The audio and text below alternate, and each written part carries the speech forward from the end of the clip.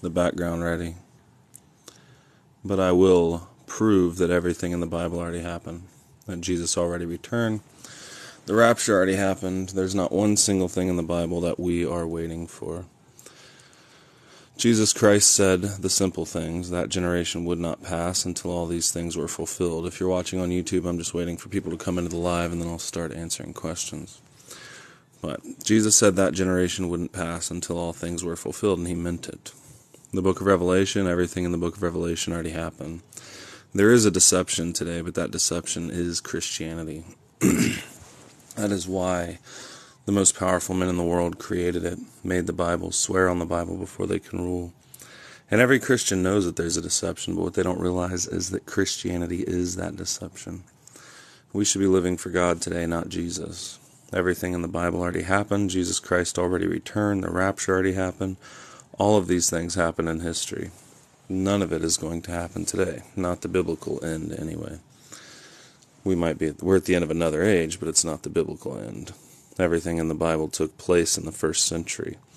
Within 40 years of Jesus Christ prophesying, everything that he said happened. The temple was destroyed. The believers fled into the wilderness. The Jews fell by the edge of the sword. They were led away captive. The armies came and trampled the city underfoot for 42 months until the times of the Gentiles were fulfilled.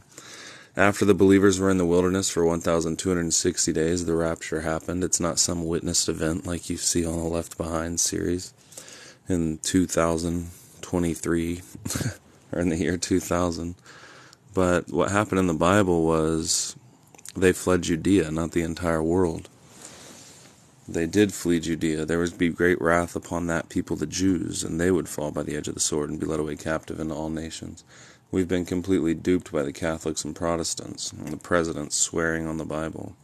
Forty some thousand denominations, and all these people claiming the Holy Spirit. You don't even know where to look today.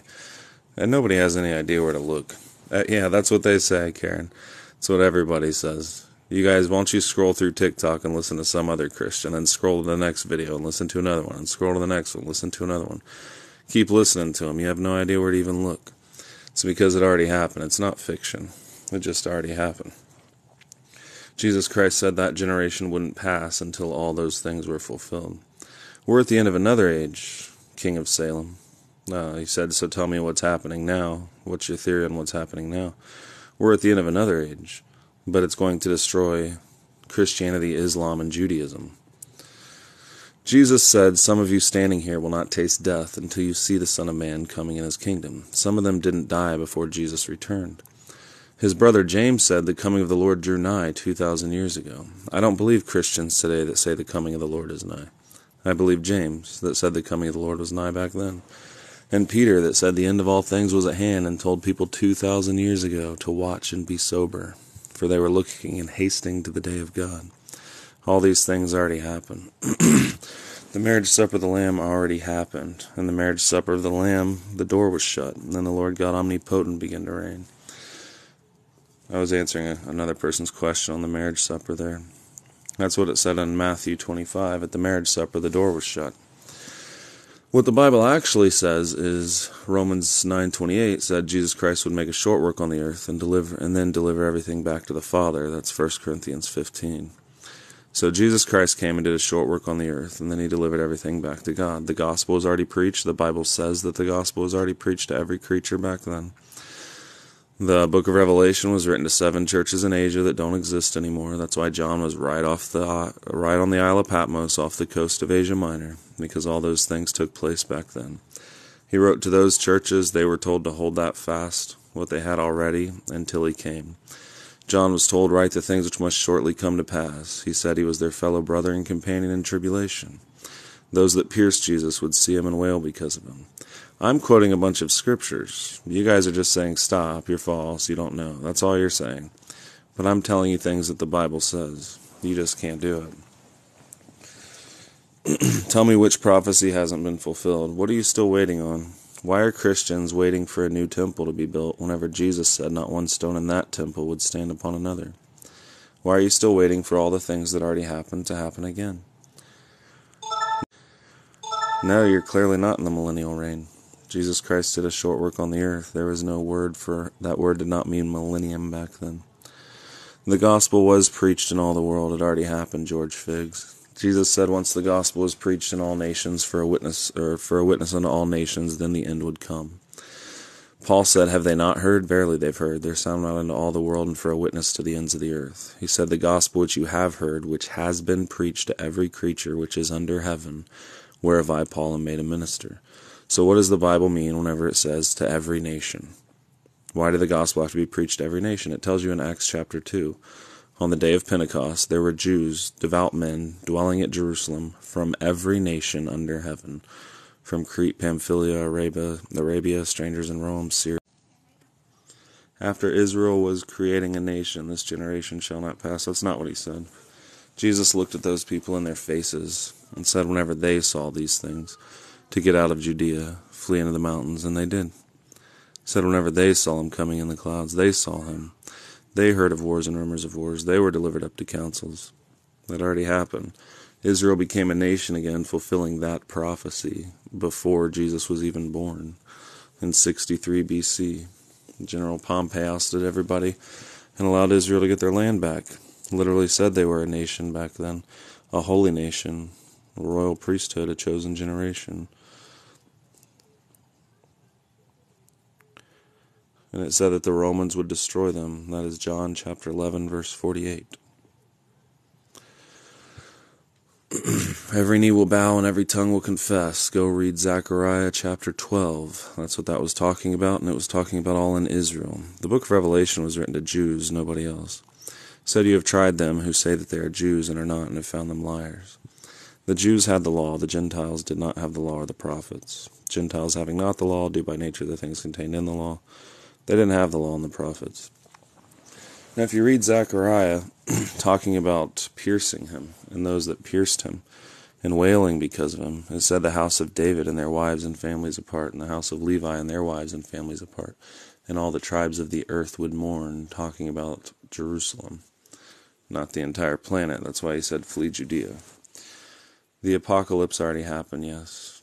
Yes, the rapture did happen. The believers fled into the wilderness for 1,260 days. They were never heard from again. It happened in history. Armageddon already happened, it just meant Hill of Megiddo. Armageddon means Hill of Megiddo. It was about a siege that happened between Egypt and the Canaanites, right up above Israel. And that's what they did to Jerusalem, just like Jesus said. They sieged them, built a wall around them, kept them in on every side, like Jesus said. Whenever Jesus walked up to that city, he wept over that city, not a future city. He said, since they didn't know the time of their visitation, that the armies were going to come, compass them round, cast a trench about them, keep them in on every side, and lay them even with the ground and their children within them, and behold, their house was left unto them desolate. It's exactly what the Romans did in their lifetime. They came and besieged them. Armageddon, Armageddo, Hill of Megiddo. Nobody knows this because the Catholic Church and the Protestant Church. I'm not saying anything outside of the Bible. I'm saying stuff against this false doctrine of Christianity today. True Christianity ended in 70 AD. Everything in the Bible already happened. And then wicked men took over Jesus' name and made this religion that we have today. Jesus' return is the first resurrection. Yes, that already happened. Jesus' return was in 66 AD. Whenever they saw the armies came, they fled Judea and they looked up, for their redemption drew nigh. And then Jesus Christ came back in the clouds with all of his holy angels, and the dead in Christ rose with him. yeah, the dead rose and got their holy body, yes. they've been in New Jerusalem for 1,953 years. Revelation chapter 20, verse 5, which, what does that say? Revelation 20 is talking about, I, John, saw the holy city, New Jerusalem, coming down from God out of heaven adorned for a bride, adorned as a bride for a husband, something like that. And then God would walk in them, be in them. They would not teach every man their neighbor, saying, Know the Lord, for he would be in them from the least to the greatest. And he wiped all tears away from their eyes. No more crying. That's what Revelation, no, that's Revelation 21, isn't it? You're talking about 20, where Satan was bound. That happened in 66 AD. So then, what is the system we're living in now? We should be listening to God today. Think about the system you're li- living in now, redneck golfer. Who swears on the Bible? Good men. Who made the Bible? Good men. What's the religion with the most confusion in it? Christianity. God is about to judge Christianity, Islam, and Judaism. That's what's actually happening. They're all going to fight over the Temple Mount. The Christians and the Jews want to destroy the Al-Aqsa and the Dome of the Rock so they can build a new temple. They think the end is going to come.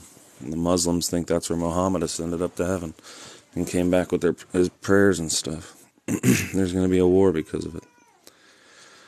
Where's the new heaven and new earth? There was no word earth, Rob Astor. The word was land back then. The word was land, and they were looking for a new heavenly land. It actually never said that his kingdom would be on this earth. It said the opposite. His kingdom was not of this world.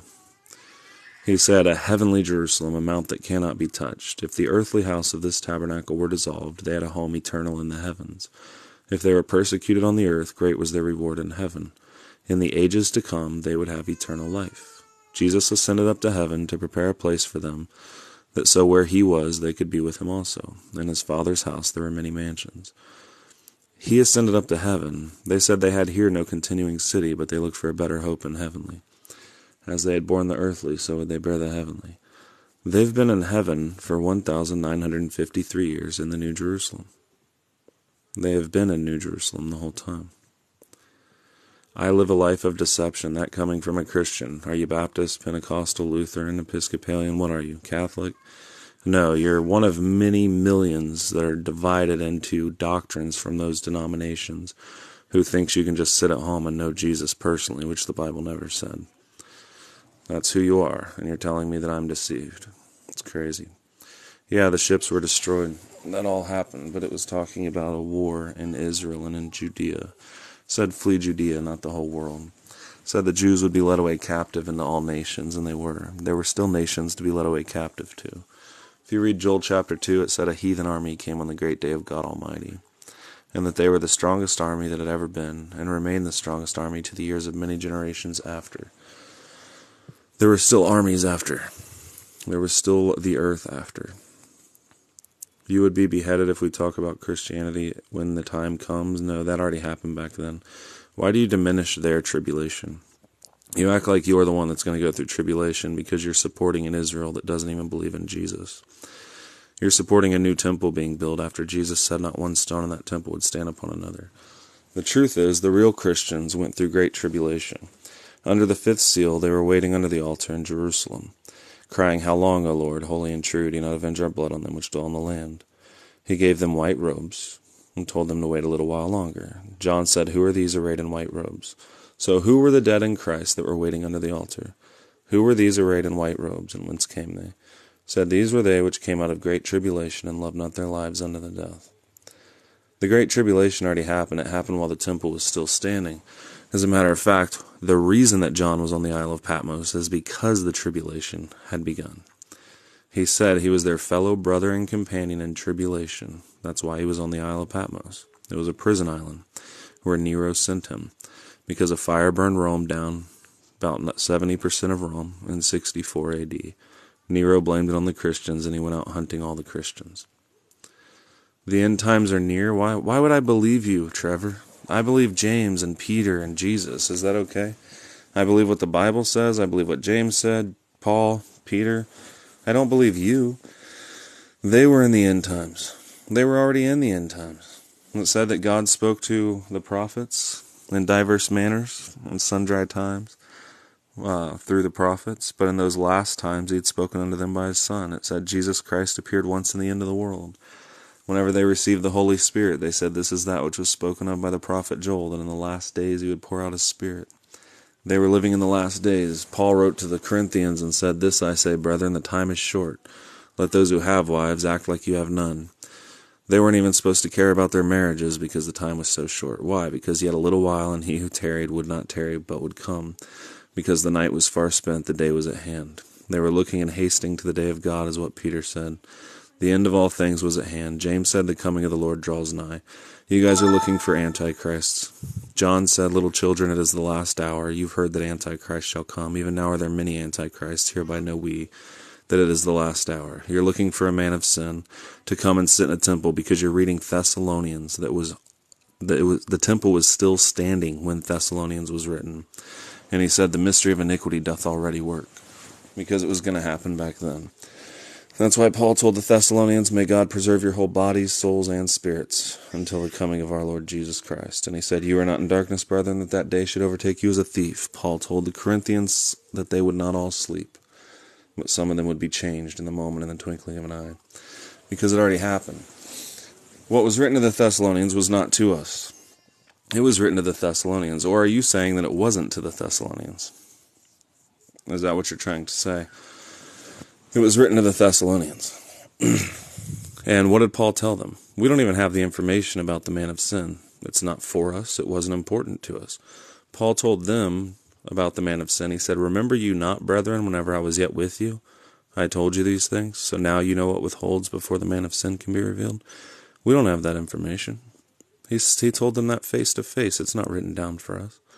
And then in their lifetime, a man who hated Jesus, who other people called the Messiah, sat in the temple, and was destroyed. He sat in the temple, killed 12,000 of the priests and the council, stained the floor with their blood, blasphemed God's name, tabernacle, and those that dwelled in heaven. Great signs happened back then.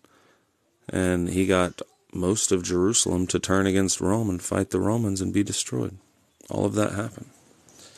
And there's nothing I said that wasn't true. Less sorrow. Tell me what I said. Where's the shining temple of God on earth? What are you talking about? Revelation 21 said that there is no temple in New Jerusalem. It said there is no temple for God and the Lamb or the temple of it. It literally said, I saw no temple there. So why are you looking for another temple? Whenever Jesus said not one stone in that temple would stand upon another. What Jesus did is eternal. What Jesus did was the most amazing thing that ever happened in this world, yes. But he did a short work and delivered everything back to the Father and became subject to the Father, so that God could be all in all. Once the marriage supper came, the door was shut. That's what it said in Matthew 25. In Revelation 19, it said, The Lord God omnipotent reigns, because the marriage supper of the Lamb had come. So Jesus did his work. From Adam until he returned, all the people who believed in him, including those in the grave, went up to a place called New Jerusalem. And they've been there the whole time. That's why the dead in Christ are waiting under the altar, because they knew that Jesus would descend from heaven and destroy the man of sin that sat in the temple. So they were waiting under the altar. I'm setting things straight. I'm not confusing you guys. Just scroll through Christian TikTok. That'll confuse you. You're going to be born for ages and ages to come. Like Solomon said, world uh, that generations come and generations go, but the earth abides forever. You will be down here. All they do is throw verses at you, believing it is for today. Yeah, I know, Kelly. Thank you. The Antichrist is right in front of you. Who is it? And I'm worshiping him. Who's that? Oh, Donald Trump. Is that who you think? Well, whenever nothing happens with that 77 year old man that isn't even going to be very healthy if he's alive in the next 10 years, you let me know, okay? And then you'll move on to the next president being the Antichrist. You sure it's not uh, Kennedy? You sure? You sure? Sure it's not the new Kennedy?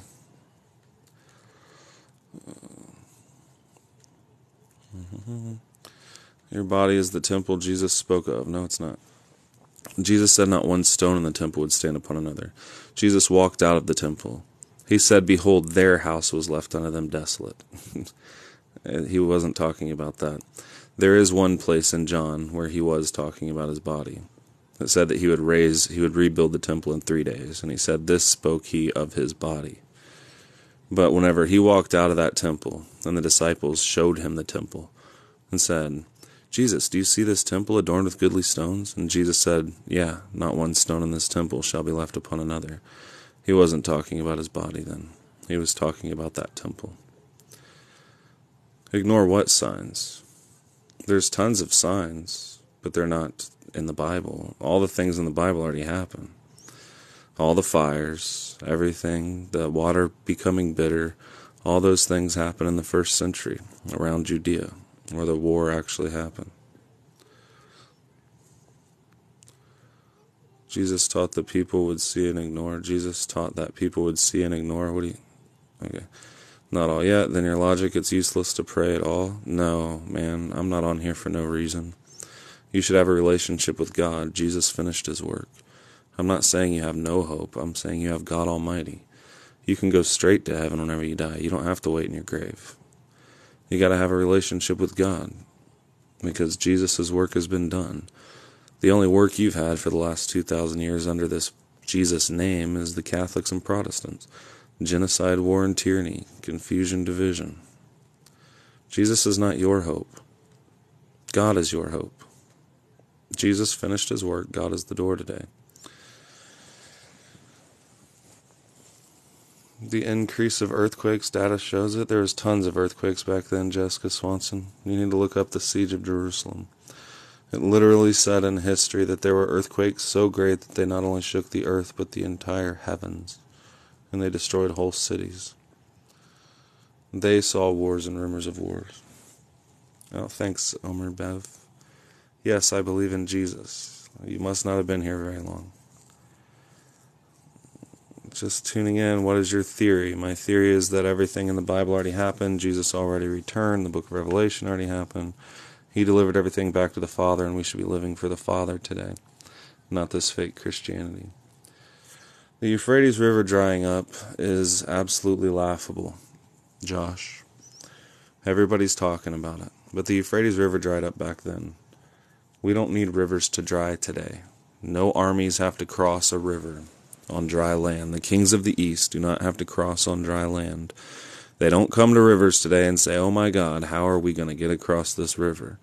They can build prefab mechanical bridges in the army, and it takes them about 15 minutes to make one big enough for tanks to cro- go across. And we have jets, you know. Nobody's going to siege a city. Nobody's going to bring back crucifixion.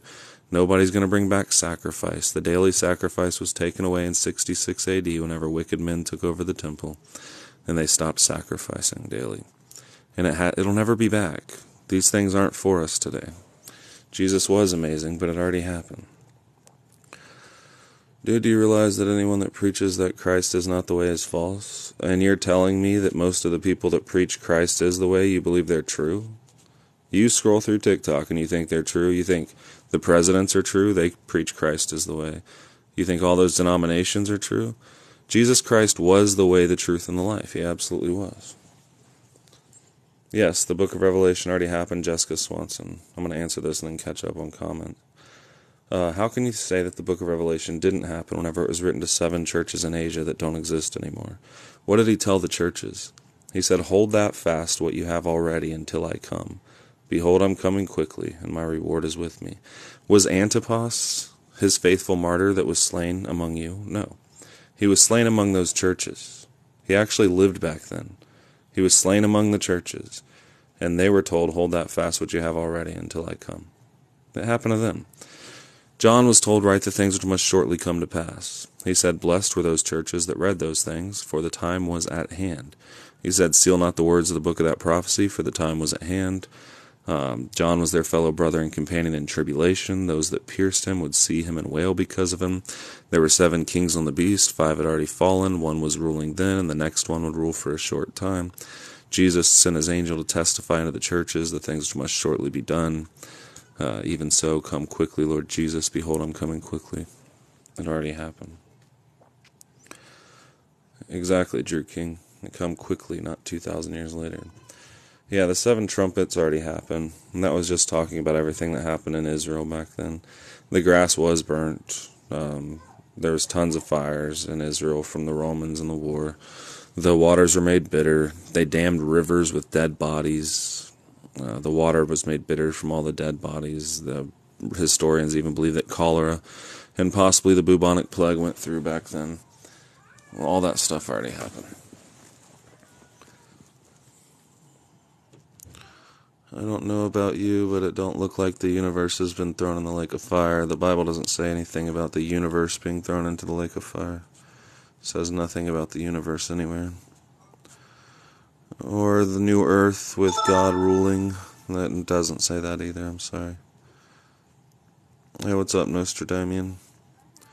There's one there's one trumpet left. There was one trumpet left throughout all of history so far. That's what they keep saying. Everything happened and then it just paused all of a sudden for 2,000 years. No, hell only lasted for 40 years. Hell was thrown into the lake of fire. That's why there's no. All that meant was Gehenna, which was a trash dump outside of Israel where they burned the dead bodies. Sometimes it was translated as grave, or hell. Grave was translated as hell. There's no grave today. You can go straight to heaven whenever you die. Mm. Yes, it does. You're just lying. No, it really doesn't say that God would throw the universe into the lake of fire. It doesn't say that. Jesus would return in a generation when Israel was a nation. No, Israel was a nation back then. John 11:48. If they let Jesus alone, the Romans would come and take away both their place and their nation. The centurion, they told him that the centurion deserved Jesus to go and heal his servant because he loved their nation. Said they were a holy nation, chosen generation, a royal priesthood. They were a nation back then. It does say that he would create a new heaven and a new earth. Do you know when it said he would do that? It said not one single jot or tittle. A jot is a little mark above a letter, you know, or a tittle, whatever, is a little mark above a letter. So not not one jot or tittle would pass from the law until heaven and earth passed. There's no more sacrifice today. That temple was destroyed many jots and tittles passed from the law. That means there's a new heaven and a new earth. So what's the problem here? The problem's translation. It never said earth back then. They didn't even know what the whole earth was. The original word was land, and they were looking for a new land in heaven, not down here on earth.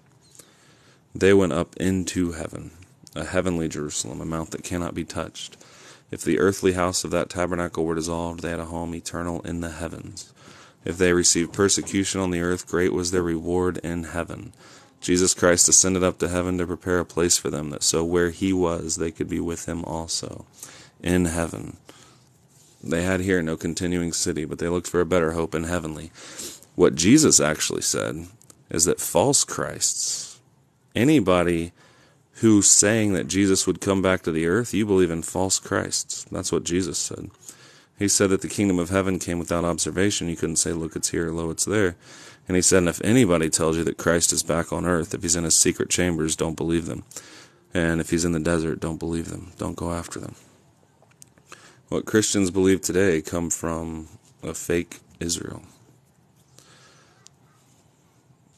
It's lost. This makes you laugh.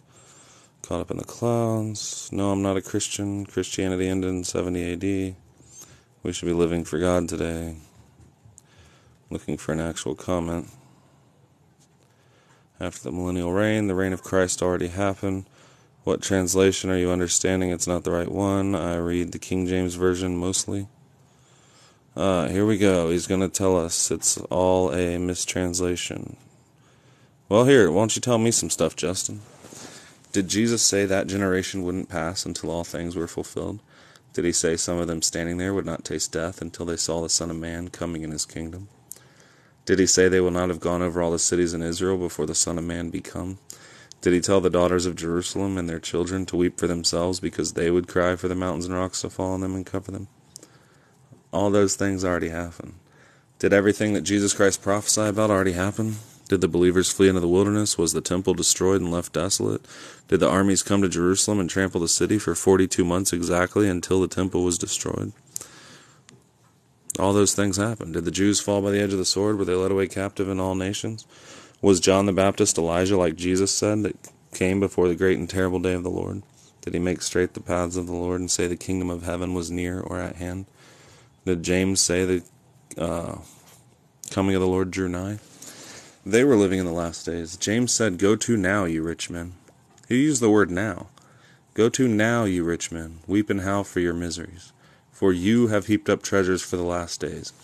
And anybody who says there's not translation problems in the Bible has a big problem. People weren't going to the library and checking out books back then. But 180 times or 200 and some times, the Bible uses the word book. Why? Instead of the word ecclesia, it uses the word church. Why? You're saying there's no mistranslations in the Bible? Why is sin still in the world? There is no sin, actually. There's only good and evil. Good and evil existed before sin. How could they have a tree of knowledge of good and evil? They didn't want mankind to become like them, who already knew good and evil. So good and evil existed before sin ever existed. Satan brought sin into the world, and because of sin, the grave happened. So nobody could enter heaven. So Jesus came and destroyed the grave and sin so that we could enter heaven. It never said that he would end evil. It said he would end sin. Evil existed before sin. Evil exists after sin. Jesus just ended sin and the punishment for it, which was the grave. He said, O death, where is thy sting? O grave, where is thy victory?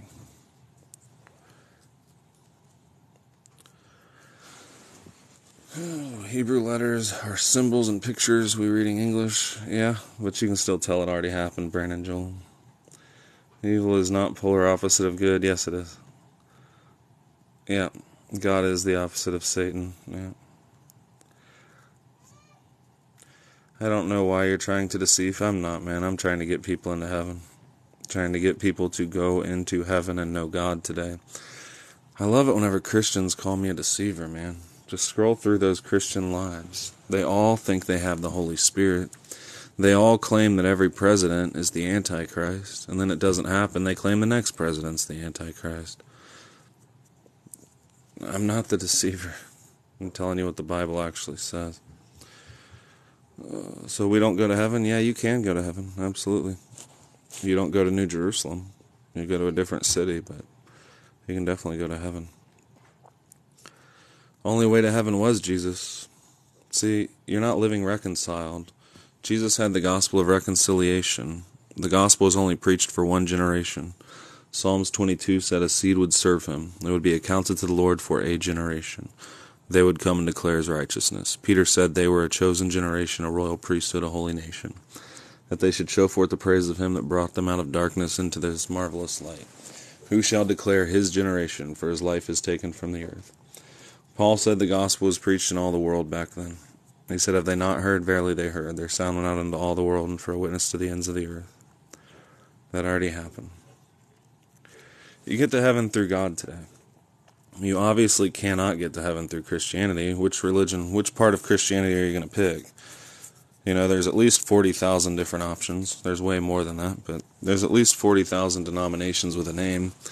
So that's like playing Vegas, you know? Those don't seem like very good odds. well, thank you. Uh, Nick says it happened. Who am I to question God Almighty? What does that mean? Are you God Almighty? Because I'm telling you what the Bible says. Yeah, I'm not saying don't fear the Lord. I'm saying you should fear God. Don't understand? Didn't Christ say no man knows the day or the hour? Yeah, he said that. But he told them they knew the seasons. And he said, whenever they began to see those things come to pass, look up for their redemption drew nigh and flee Judea. And they did that in history. He told the Thessalonians, You are not in darkness, brethren, that that day should overtake you as a thief. So they weren't going to be overtaken as a thief. And that was written to them, not to us.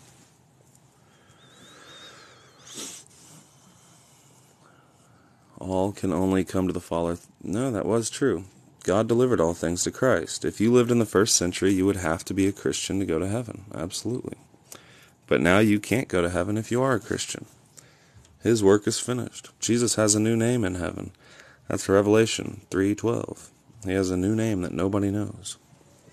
He's been in heaven the whole time. He rules over the house of Jacob in an everlasting kingdom.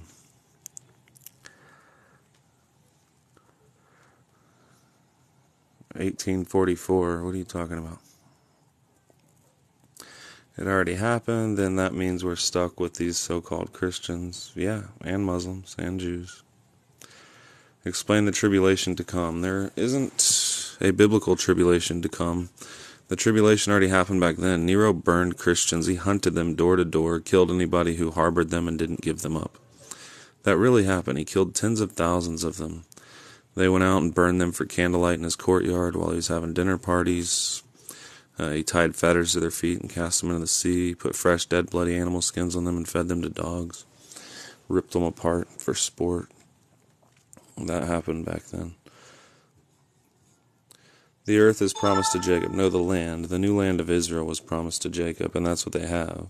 Whenever old Jerusalem on earth was destroyed, they went into a new heavenly Jerusalem, not down here on the earth.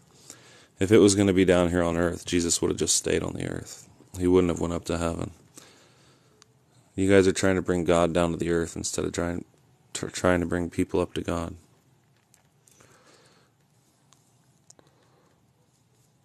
Uh, yeah, I don't know how to say your name, Gulo.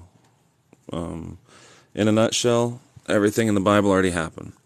Jesus Christ did a short work on the earth and delivered everything back to the Father. He ended sin in the grave, so we have access to God today.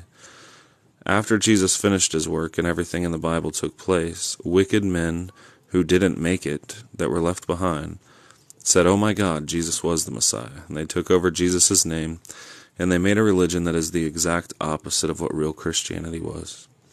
Real Christianity was small, it was few, it was persecuted, it wasn't in government, didn't have any money, they weren't making provisions for their flesh because the time was so short. They knew that they were getting off this planet and they were willing and wanting to die. This Christianity for the last 2,000 years has killed with the sword. They've had genocide and tyranny, that's how they spread it. Wicked men, some of the most wicked men in the world, made the Bible, strangled his own wife in the bathtub. That's how they pushed Christianity. Luther had the Anabaptists drowned because they thought they could be baptized whenever they were older. Calvin had other theologians burned at the stake. King Henry chopped off his wives' heads and hung them on London Bridge. And that's why people call the Bible the Word of God, is because of King Henry. The presidents of the United States swear on the Bible they come over here to Jamestown in America and wipe out 90 million natives between North and South America. And they do it with the Holy Spirit in the name of Christ. Christianity is the deception today. It's the biggest religion with the least persecution, the biggest armies, the most money, the most powerful governments. Real Christianity ended in 70 AD. The word rapture is only a couple hundred years old, but the catching away is in the Bible. They were caught up to meet them in the clouds, and so they would ever be with the Lord. And they would not all sleep, but they would be changed. Answering Dano's question.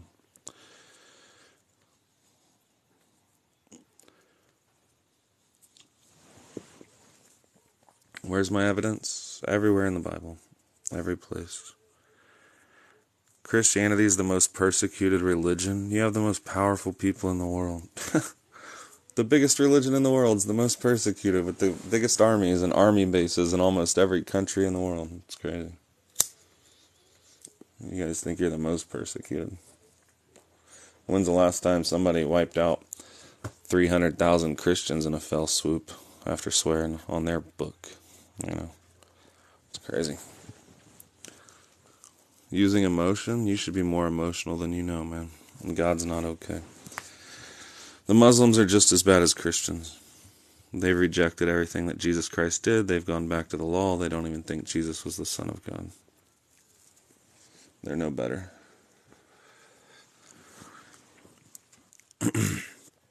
Indoctrination runs deep. It does. It does.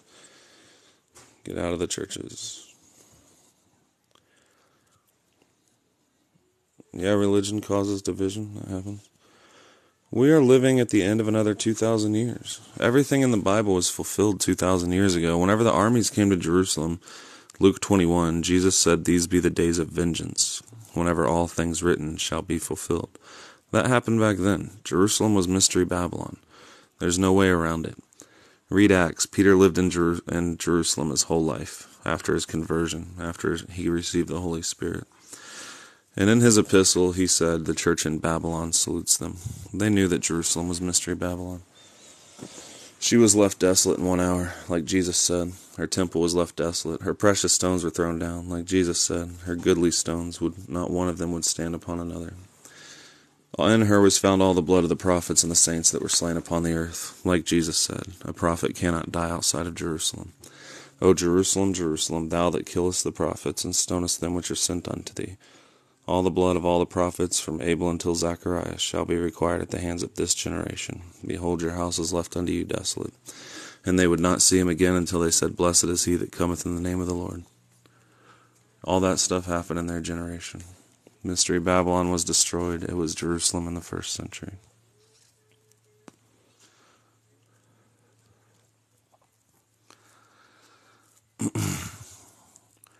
I do hear and receive from God, and I'm telling other people to do the same. You hear and receive from a fake church and a fake Jesus. And I'm telling people not to do that.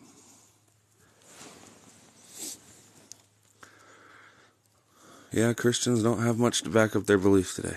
Oh, thank you, uh, Guello. I don't know how to say your name. Sorry, I'm saying it wrong. They spread the word of God blindly. Jesus will come like a thief in the night. That already happened. But he told the Thessalonians, You are not in darkness, brethren, that that day should overtake you as a thief, because they wouldn't be overtaken as a thief. Just like the Corinthians, not all of them would sleep. Some of them would still be alive whenever Jesus returned. Also to the Thessalonians, Paul said, May God preserve their whole bodies, souls, and spirits until the coming of the Lord. They were still alive whenever he came back. That temple was still standing whenever that was written about the man of sin. And then a wicked man, man came and sat in the temple, and millions of Jews were killed. And the Romans built a wall around Jerusalem. And the blood was so high that it came out of the wall like a wine press and quenched the fires in Israel. That happened in history.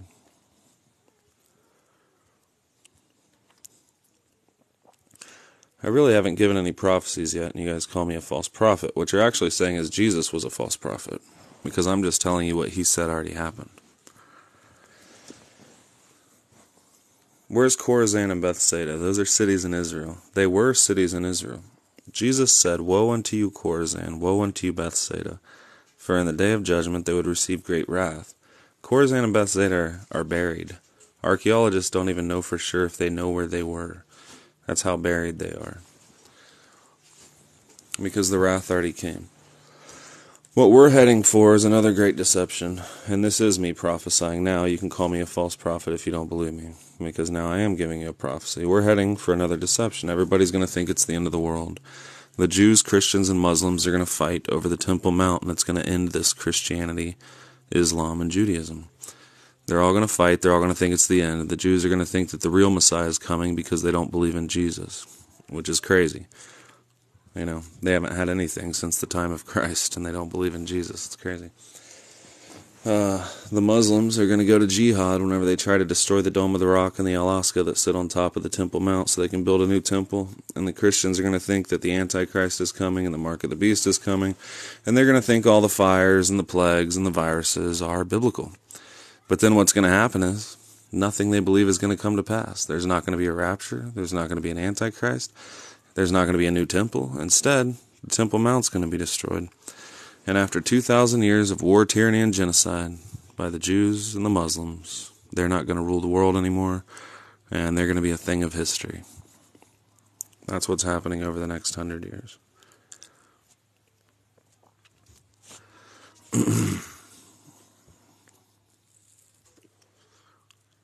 They're not building a new temple. They always say that.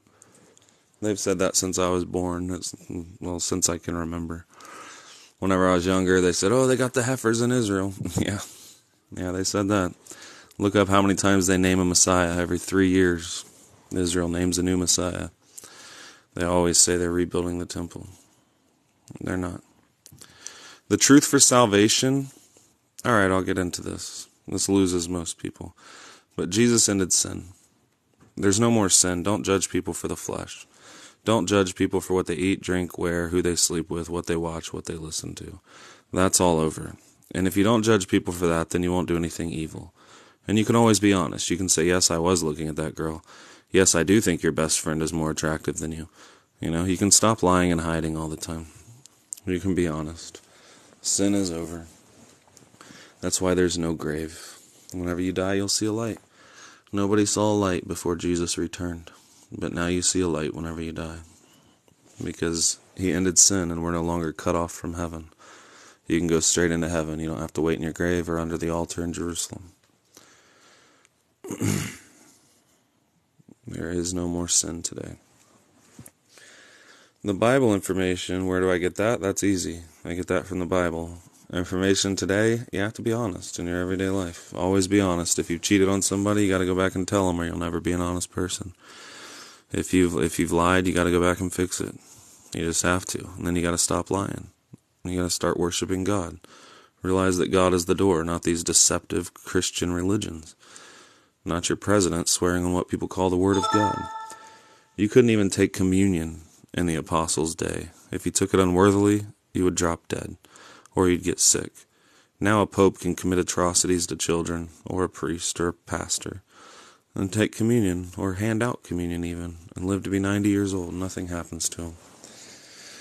This is not the true church. The true church ended of Jesus in 70 AD, and he gave everything back to the Father. This is not the same. Negative. I'm trying to read some stuff, see what somebody's got to say. Just read the whole New Testament. I'm not against people reading the Bible. I'm not one of these pastor type people that don't want you to read the Bible. I want you to read it all again. Only this time, forget about the doctrine you've been taught and believe what they said. John the Baptist was standing in Jordan baptizing people.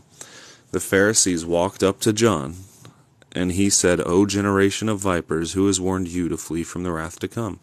He's not talking to us. He was talking to them.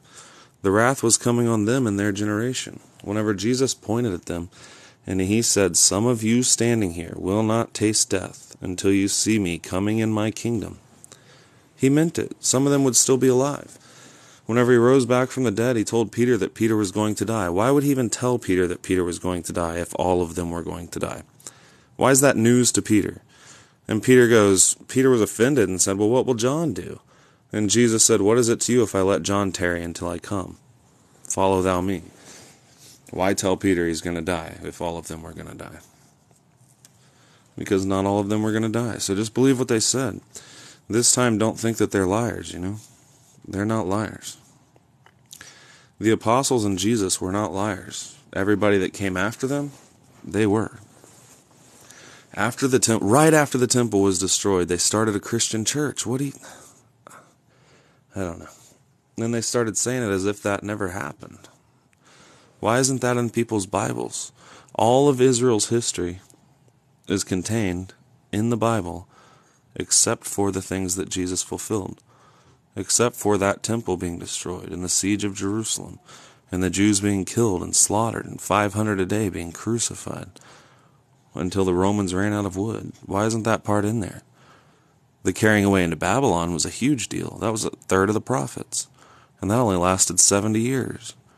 This has been 2,000 years and it's not in the Bible? They're trying to keep it from you. They don't want you to know that Jesus Christ already returned, that we should be worshiping God today and not judging one another for the flesh. It's not good to do evil. You should not, if you lie, you're not going to make it to heaven. If you steal, kill, manipulate, hurt women and children, murder, you're not going to go to heaven. There's no way. But he ended sin. Sin was accustomed to the flesh. The flesh was at enmity with God. Jesus Christ came and put an end to that. It doesn't matter what you eat, drink, wear, listen to, watch, put on, that kind of stuff. None of that matters. And the people who think that it does, they're hypocrites. So live the Ten Commandments. What are you talking about? Well, yeah, I mean, you should, but you shouldn't have to read anything written in stone. That was added because of transgression. Said what was the law added for? It was added because of transgression. Even back then, 2 Corinthians chapter 3 said the Ten Commandments were the ministration of death and condemnation and that they were done away and abolished. Most people don't know that that's in the Bible. But that's 2 Corinthians chapter 3 for anybody who doesn't believe me. That's what it said about the Ten Commandments. The rapture already happened. It happened after they fled into the wilderness. I have three hour. Somebody brought up somebody else's stuff on YouTube. I have three hour videos explaining the whole Bible on my YouTube channel. I've got. I've been doing this for years. You're telling me to watch somebody else, but I do this for years, and I actually quote what the Bible says. Uh, the flesh part. Jesus' blood couldn't cover the spirit. If you try to pour blood on a spirit, it just goes right through it. But blood does cover the flesh, and our flesh is made of dirt. Jesus' blood ran down onto the dirt. Like if you pour blood on the dirt, it covers it. Blood on flesh, it covers it. But it didn't cover spirits. And those who didn't believe that Jesus ended sin didn't make it to heaven. And those who still act like sin exists today are the ones who are doing evil, condemning everybody else. And they're not going to make it to heaven. Sin are the things that are accustomed to the flesh my YouTube channel is my name. It's on my. Uh, it's also on my profile under my picture. It says YouTube. You debated any knowledgeable person? Yes, yes, many times. Four years. But they won't debate me, they just block me. That's what happens. Read Vedas. Why are you working for Satan? I'm not. Satan was destroyed whenever the temple was destroyed. That's Isaiah chapter 27. Whenever the altar was made chalk stones and Jerusalem was destroyed. Isaiah chapter 27. That's whenever Satan was destroyed. What did Jesus say while he was on earth? He said, Now is the judgment of this world. Now shall the prince of this world be cast out. And the prince of this world is coming, and he has nothing in me. What happened whenever Satan was cast out? He knew that he had but a short time. And Jesus said that happened back then. He said, Be end of judgment, because the prince of this world is judged. Satan was judged back then, not today. Uh, Revelation chapter 12 said a woman clothed with the sun, with upon her crown were twelve stars, and she travailed in birth. Those twelve stars are the tribes of Israel. Israel birthed Jesus Christ. She travailed in birth and brought forth a man child that was to rule the nations with a rod of iron. She gave birth to Jesus. Satan tried to devour the child as soon as it was born. That's Herod trying to kill all the babies around Bethlehem under two years old, trying to kill Jesus. But the child was caught up to the throne and to God. When he was caught up to the throne, there was war in heaven. Michael and the angels fought against the dragon, and the dragon against the angels. And the dragon's tail drew a third part of the stars and did cast them to the earth. And Satan was cast to the earth, that old dragon, the serpent that is called the devil. And he came down having great wrath, because he knew that he had but a short time. And he chased the remnant of the believers into the wilderness for 1,260 days. That happened in 66 AD. He chased them into the wilderness. But Jesus said, Now was the judgment of the world, now was Satan cast out. When he was cast out, he knew that he had but a short time. When was Satan cast out? After Jesus ascended up to heaven.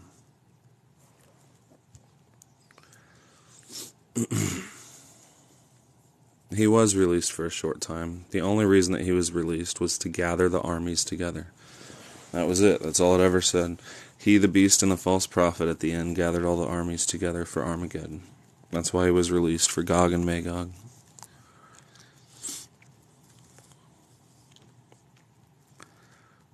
When Satan is released again, or did that happen? Yeah, Satan was already released. Bait me, if God is for me, who can stand against me? I dare you. Read that scripture. Uh, if God is for me, who can be against me? I just read it. I quoted it not in the Bible. Am I Gnostic? No, I'm not Gnostic. I don't have any frilly little weird beliefs that I need attention for and I want people to watch my videos for. I'm not claiming some secret esoteric knowledge where I can say a bunch of words that other people don't understand and make them feel beneath me whenever all they really need to do is be good and love God. And God is the one with knowledge. Jesus had the most knowledge in the world and he never brought anything up for a reason. He never was like, oh, you know what Nephilim is? You know the shape of the earth? You know this? You know that? No, he didn't say anything like that. A bunch of people thinking. Armageddon meant Hill of Megiddo. If you Google that, it means Hill of Megiddo. Whenever Israel was delivered from Egypt, 1400 BC, they were afraid of the Canaanites. So it was a huge battle for them. You know, they were afraid of the Canaanites. They wouldn't go. They disobeyed God. So they couldn't defeat them for a while. Their walls were real high. And then the Egyptians went up there and went to war with them in Megiddo. Megiddo is a place right above Israel. Israel's actually occupied that land a few times in their history. And the Egyptians went up and did a five month siege and sieged they besieged them, they built bulwarks around them and wouldn't let them out of the city and starved them and then they killed them. And that's exactly what it was talking about would happen in the Bible, the siege of Jerusalem. The Romans came like Jesus said. Jesus said, since they didn't know the time of their visitation, that the armies would come, compass them round, cast a trench about them, since they didn't know the time of their visitation. And he walked up to that city and wept, not this future city that we have now, but he walked up to that city. And the armies would come, compass them round, cast a trench about them, keep them in on every side, and lay them even with the ground and their children within them. Behold, their house was left unto them desolate. And that's exactly what happened in history. Just like the siege of Megiddo, which was huge for Egypt, I mean, for Israel back then, because whenever they destroyed the Canaanites in Megiddo, they made a law to where they couldn't build any more walls. So it was easier for Israel to take over all the land they were supposed to have and defeat the Canaanites after that. But anyway, Armageddon is just talking about the siege of Jerusalem. And during that siege, the Romans built a wall around them. They said that the bodies were so high inside of that wall. They killed over one million Jews just on the day the temple was destroyed. Just the day, and this is a three and a half year war. Just the day the temple was destroyed, they killed over one million Jews that were trapped inside of that wall. And blood was so high, up to the horse's bridle, like Revelation said, that it came out of the wall that the Romans built and quenched fires that were burning in Israel. What does that sound like? Blood coming out of her like a wine press. That's exactly what it looked like. They couldn't even touch the ground, there were so many bodies. That's what happened in history. Who was the false prophet? Who was the Antichrist? There is no Antichrist in the Bible. You're looking for uh, people like John of Gischala and Simon Bar Giora. I'd probably have to type that in. Uh, Simon Gischala, uh, Simon, Simon Bar Giora and John of Gischala. All right, I went too far. There was no single Antichrist in the Bible, only the spirit of Antichrist. John said, Little children, it is the last hour. He said this 2,000 years ago. He said, You've heard that Antichrist shall come. It wasn't capitalized, it didn't say that the Antichrist shall come.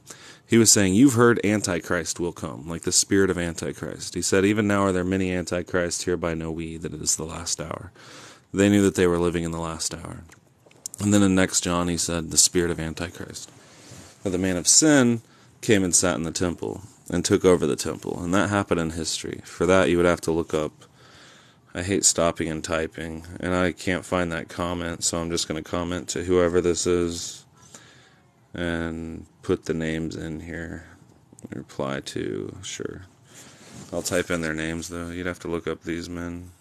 John of Scala and Simon Bar Giora. And that'll tell you who the man of sin are. What this man is speaking is inherently antichrist. No, it's not. You don't know what your Bible says. I believe that Jesus Christ came in the flesh. I am not antichrist. Whenever John said, he said, if they say that Jesus Christ has not come in the flesh, this is that spirit of antichrist. I believe that Jesus came in the flesh. The man of lawlessness was because he didn't care for anyone. He fought the Romans, he fought the Jews, he fought Christ, he fought the Christians. He literally fought everybody. That's what it meant by the man of lawlessness. But you guys are taking that word lawlessness as if he didn't keep the law of God or something.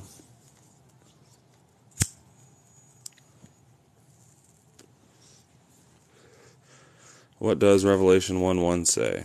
I don't exactly know, but I'm pretty sure it tells John to write the things which must shortly come to pass. And blessed are those that read those things. Or maybe that's like Revelation 1 2, 1 3, I don't know. And blessed were those that read those things, for the time was at hand. When did the first resurrection of the righteous occur? In 66 AD. Teach your children to always be honest. Teach them not to judge for the flesh, but always be honest. Teach them not to lie, steal, hurt anybody. We don't have to do those things. If you know that you're going to heaven as soon as you die, there's no point in all that. That's what you should teach them and teach them to believe in God. Actual actually have faith in God. You know, if God doesn't tell you it, you don't know it. So wait on God. Don't run to a Bible, don't run to Google. Wait on God. See if he talks to you in dreams, things that you could never imagine or hear before. Actually give him the time of day. Yeah, it was things to come. See, sick pirate, and it came. It was things that were shortly coming to pass. Not 2,000 years. Daniel saw the same things as John. Daniel lived 500 years before Christ, roughly. Daniel was told, Seal up the words of the book of this prophecy, for it won't be for many days, but it was for the time of the end. John was told, Seal not the words of the book of this prophecy, for the time is at hand. So, what does that mean? That means John was in the time of the end. Daniel was not. If those things in Revelation haven't happened yet, then God should have said, Seal these things up for many, many, many, many days, four times the amount of Daniel. Yeah, they waited in their grave. That's what Sheol was. That's what Jesus actually came to do away with. Everybody waited in the grave until the time of John the Baptist or Jesus Christ dying. John the Baptist said, Now is the axe laid under the root of the tree. There was no hellfire in the Old Testament. Everybody waited in darkness, slept. But whenever John came, he said, Now is the axe laid to the root of the tree. Now any tree that doesn't bear good fruit is hewn down and cast into the fire. And that was a place called Gehenna, outside of Jerusalem. Jesus went down and preached to the souls in prison whenever he died. Those that believed him went into Jerusalem and waited under the altar. They were seen going into the holy city. The dead in Christ were waiting under the altar in Abraham's bosom, under the glory cloud of God. The ones who didn't believe him were trapped in a place where they burned dead bodies and trash outside of Jerusalem called Gehenna. That's where their souls were trapped. And they were tormented in that flame. Revelation also talked about things that are still disclosed. Everything in Revelation already happened, man. Jesus Christ brought it back at the end of it and said he sent his angel to the churches to testify unto them the things which must shortly come to pass or shortly be done. Those out of the old world are already saved, yes. Everybody from Adam until Christ's return heard the gospel, and they went up to heaven if they believed in Jesus. No, I have not seen Jesus here a thousand years. That thousand years doesn't actually mean one thousand. If you read where God called Abraham, this is hard to explain to people that don't understand. But the Hebrew language was letters and numbers, so the translators could have translated the whole Bible into nothing but numbers. They could have done that. Or they could have translated the whole Bible into nothing but letters. So a lot of the times, whenever they put numbers in there, it should have been a word. You know, like a thousand is like saying, if I've told you a thousand times, you know, it's a Hebrew idiom. It's like God has cattle on a thousand hills. You know, why not 999 hills? It just means he has cattle on, you know, all hills or many. Or, and then whenever God called Abraham, he said, Let this be a covenant with you for a thousand generations. A thousand generations would be 40,000 years, 70,000 years, 100,000 years, depending on what you think a generation was. But if you read Matthew chapter 1, it was only 42 generations until, from Abraham until Christ. It said, from Abraham until David were 14 generations, David until the carrying away into Babylon was 14 generations, and from the carrying away to Babylon until Christ were 14 generations. It's 42 generations, not a thousand. It's just a Hebrew idiom. What Jesus actually said was, Some of them standing there would not taste death until he returned in his kingdom to reward every man according to their works. He didn't reward every man according to their works until after the thousand year reign. It's just a bad, bad translation of a word. He actually did a short work on the earth and delivered everything back to the Father. He told you what his reign was. He said whenever he came back in the glory of his Father with all of his holy angels, then uh, they would be given 12 thrones to judge the 12 tribes of Israel. And that's what it was about. That's why in Revelation he told them if they overcame and loved not their lives unto the death, that they would sit down on the throne with him and be given thrones to judge and break the nations of Israel into shivers, which is talking about prophets or prophecies from the Old Testament about the potter's vessel and breaking them into shivers. I went to God for my understanding. You can call me a know it all if you want. But I didn't understand this stuff by reading. I actually threw everything away and cussed God out many times throughout life and said, Look, those churches are ridiculous. Everything they believe, I can't find truth in them. Everybody disagrees. Finally, I got mad enough to throw everything away and say, I'm just going to call you truth. And truth, if you can't tell me the truth, nobody can. If you want me, come get me the balls in your court because I can't do it and I can't find you. Then I had a bunch of dreams of things that I couldn't even believe, like Christianity ending and all this stuff already happening. So.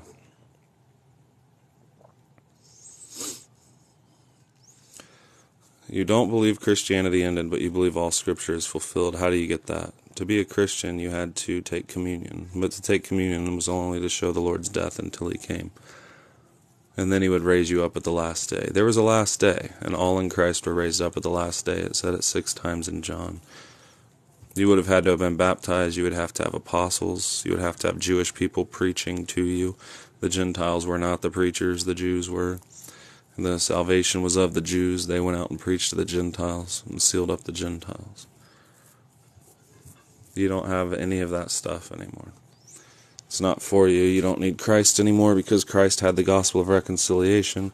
You did not need Jesus Christ before Adam and Eve fell, and you don't need Jesus Christ after the last man, Adam, finished his work, because we're reconciled and we have God again.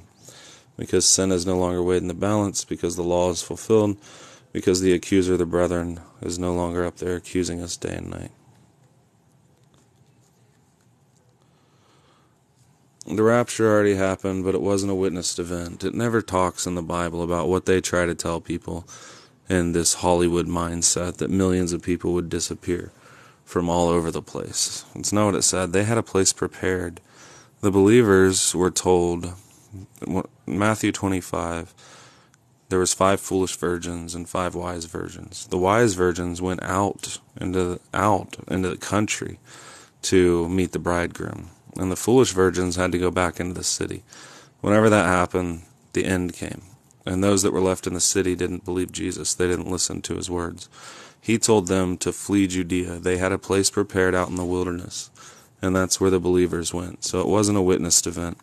The rapture happened 1,260 days after the believers fled into the wilderness. When the believers fled into the wilderness, the two witnesses came and preached for 1,260 days.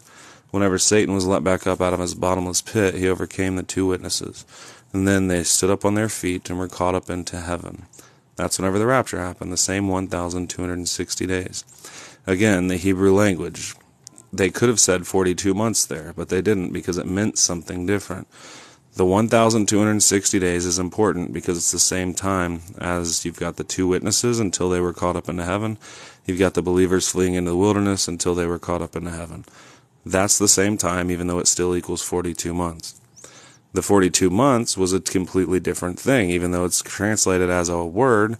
The word, the number is different, I mean, because it was dealing with the armies coming to Jerusalem and trampling the city underfoot, and the Jews falling by the edge of the sword and being led away captive for 42 months.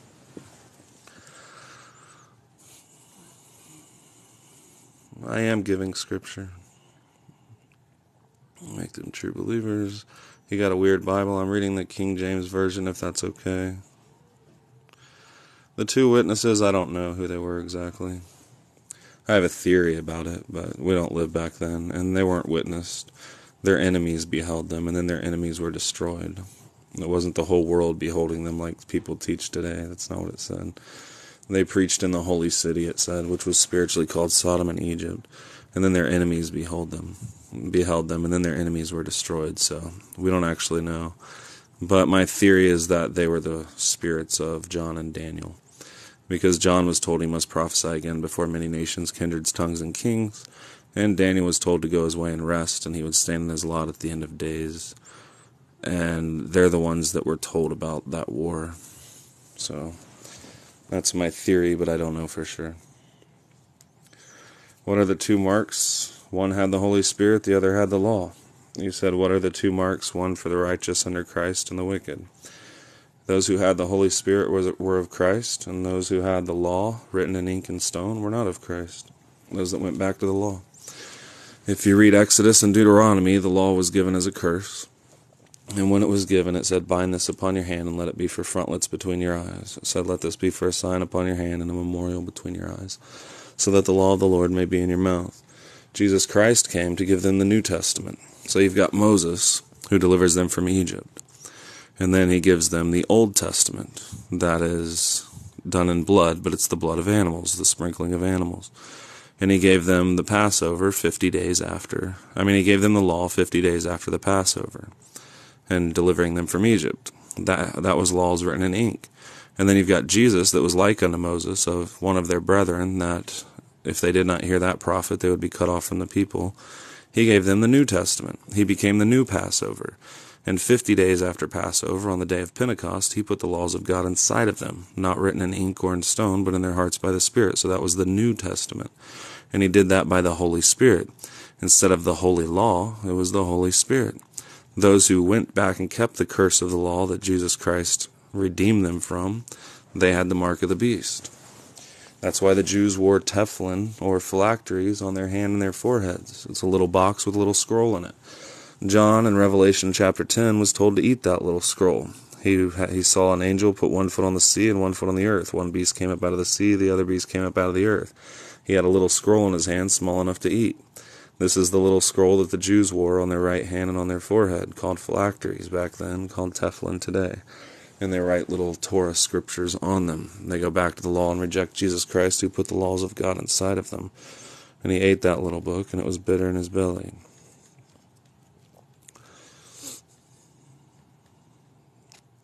How is that blasphemy? You guys are the ones blaspheming. Jesus Christ came to fulfill the curse and end the curse of the law. He was the New Testament. And you're telling me that I'm blaspheming because you're keeping the Old Testament like the unbelieving Jews did that got destroyed in that generation? No. He was a New Testament. Jesus literally saying, Drink my blood, and this is my body which is broken for you. And this is the blood of the New Testament. He was saying, You will no longer, God will no longer pass over you because you have the Old Testament. He was saying, But now you must believe in me. Right? The Old Testament wasn't going to save them anymore. Oh, absolute blasphemy. You have no clue what you're talking about if you read Revelation. So, what's the word in the scroll in the box? They can write whatever they want. Uh, the word in the scroll in the box. They can write whatever laws are dear to them. Uh, I love how atheists love read the Bible. I'm not an atheist at all. I believe in Jesus. I believe the Bible. I believe in God. Society need. Oh, where? How did it have to do with buying and selling? See, the Christians refuse to wear the phylacteries. They refuse to wear these little scrolls. So, whenever the zealots, the people who rejected Jesus and fought Rome and everything because they were zealous of the law, literally, you know, whenever the zealots took over the temple, they wouldn't allow Christians to buy and sell. It was against the law for Jews back then to spend any currency that wasn't Jewish. They could make any money they wanted, but they had to go up into the temple to the money changers that Jesus threw over in the temple and exchange their currency for Jewish currency. And since they wouldn't wear the phylacteries or the tefillin, the unbelievers knew that they were Christian and they would not allow them to buy and sell. They also killed any Christian they could get their hands on that wouldn't convert and join them. So that all happened in history. It was a Jewish thing. That's why those that overcame the mark of the beast sang the song of Moses. It wasn't a Gentile thing. Gentiles having not the law do by nature the things contained in the law. Gentiles were aliens from the commonwealth of Israel, strangers from the covenants of promise, without Christ having no hope and without God in the world. They weren't made nigh until the blood of Christ, because Jesus Christ was uh, crucified for them, breaking down the middle wall of partition, making in himself of twain one new man, so making peace, taking away the handwritten ordinances that were against them and that were contrary to them, nailing him to his cross, so that the Gentiles could come into the fold also, those who didn't have the law.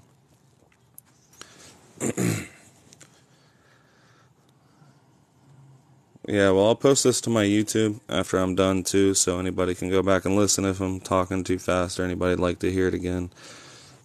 I know I get to where I'm talking too fast because uh, I like to get as much information as I can before I miss my train of thought.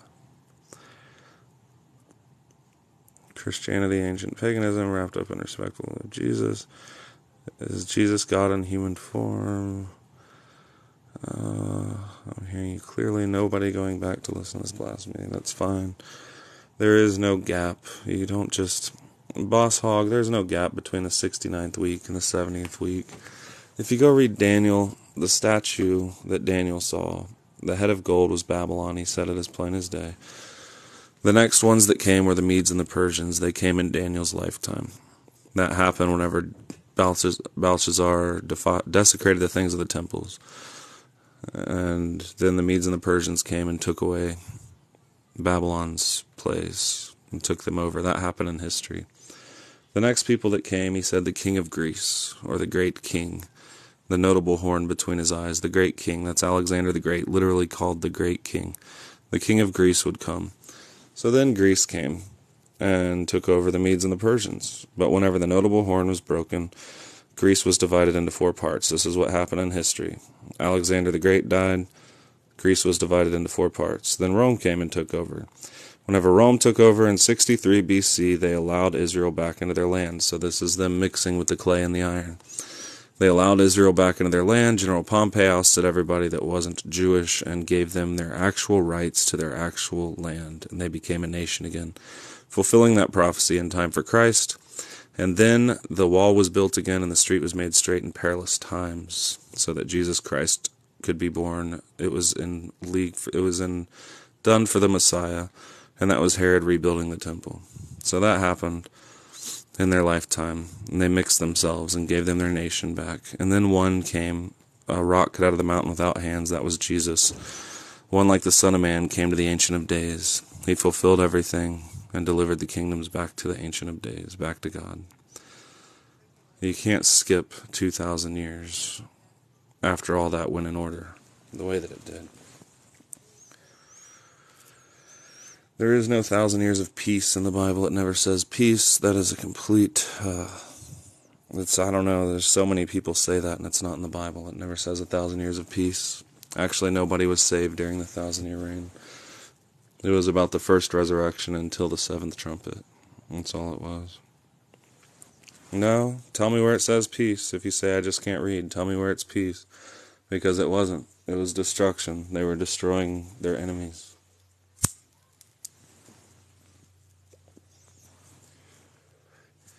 They had peace in heaven, yeah, but there wasn't peace on earth, not down here. God is not stupid. I'm making my own understanding. I'm basically quoting the Bible from front to back, and you're calling it my own understanding. And that's all you have to run with. It's crazy. Wrong, wrong, wrong, false. So say, yeah, okay, whatever. Say something. The end game, buy my book. No, I usually don't. I just made this one for today. I usually don't even promote my book. But yeah, you should buy my book. I didn't write a book because I didn't want anybody to read them. And I've written like six, so. but yeah. Nobody writes a book and says, please don't. No, you didn't put that comment to say, don't read my comment, you know. Uh, do I think people are. yeah. Um, only God is smart. Honest people are smart. Evil people and liars are not. If you lie about those lustful programs, you're not going to be smart. The only way to get the right answer to a question is to tell the truth about it. So honest people are smart, liars are not. The more you lie, the worse you are.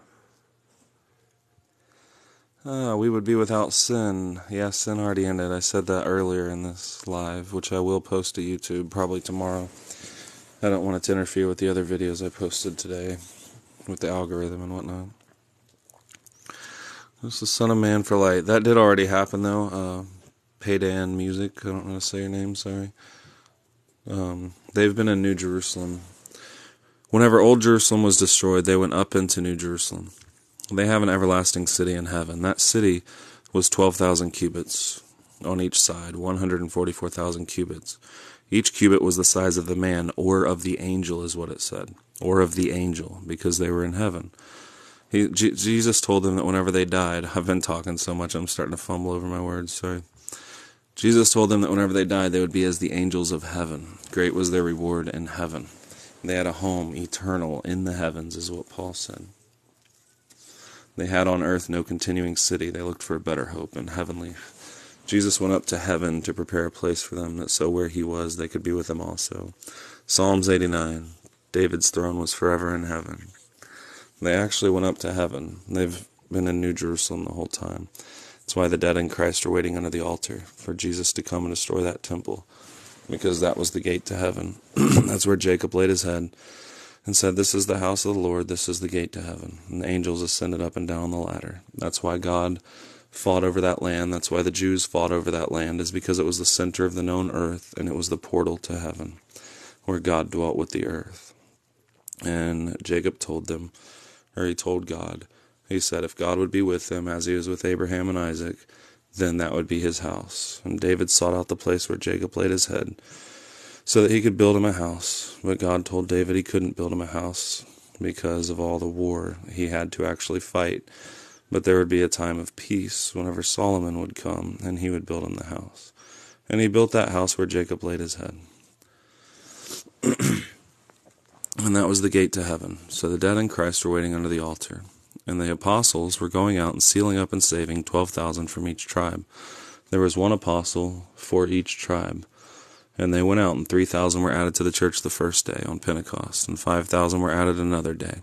And they told Paul whenever he went to shave his head in the temple and do an oath, they said, How many you see how many thousands of Jews there are, brethren, that believe, and they are zealous of the law, and half of cities believed, and whole cities believed, and the Lord God added daily as many as would be added. There were many thousands of Jews that believed back then. You can count an easy 80,000 in the book of Acts. It literally numbers them. And if you wanted to get into those city populations that they spoke of, it would be more than that. But they did that. And once they became the temple, once the 144,000 were done being killed, then Jesus Christ could return.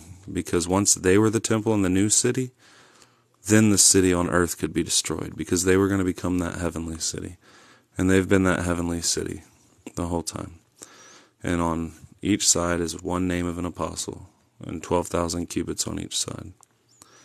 And that's the 144,000. They can't be saved today. They were saved back then whenever Israel actually believed in Jesus.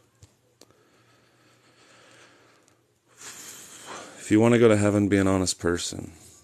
I know that this sounds too simple, but it's true. God is the door. Believe in God. Wait on Him. You know, make sure that you believe in God, wait on God, and always be honest. Jesus ended sin, so don't condemn yourself. Don't be a hypocrite, acting like you didn't watch that lustful program, acting like you didn't look at that girl, or you didn't like your boyfriend's best friend. Don't act like that, because then you'll just be a hypocrite. And all the people that blame you for that kind of stuff, they do it themselves. And they're just liars, so they can't understand the truth. So if you want to go to heaven, always be honest and believe in God. God is the door today. The holy city isn't going to come down, Tina Bender. It's not coming down to earth. That's just a problem with us living in the 21st century and not understanding marriages back then. Whenever it says the holy, and I, John, saw the holy city, New Jerusalem, coming down from God out of heaven, adorned like a bride for her husband, that was John seeing a vision, and it was just saying that his wife was prepared. Back in the day, whenever they would get married, the woman would walk down the stairs and the groom would wait at the bottom of the steps. And he was seeing that it was fulfilled, that New Jerusalem was ready, that all the people were in her, she was done. It never said that it would come back to earth. Jesus literally said, if anybody said Jesus was on earth, don't believe them, because they're false Christs, because he wasn't coming back to earth. He came in the clouds to get them, and they were caught up in the air to meet him, and so they would ever be with the Lord in a heavenly Jerusalem, a mount that could not be touched. Jesus will return the same way he ascended. He did. That's written in history. I just don't like getting into history. Don't like getting into history because people say, well, that's not in the Bible. That's just history. But history proves that Jesus already returned by eyewitnesses in the first century. You can read it in Josephus' Wars of the Jews on the 21st day of Artemisius, that's that was the Greek month, Lyar was the Jewish month. On the 21st day of Artemisius at sunsetting, they were seen a magnificent sight that if you weren't there to see it, you wouldn't believe it. It was like the thing of fables. There were armies and chariots running on the clouds in shining armor.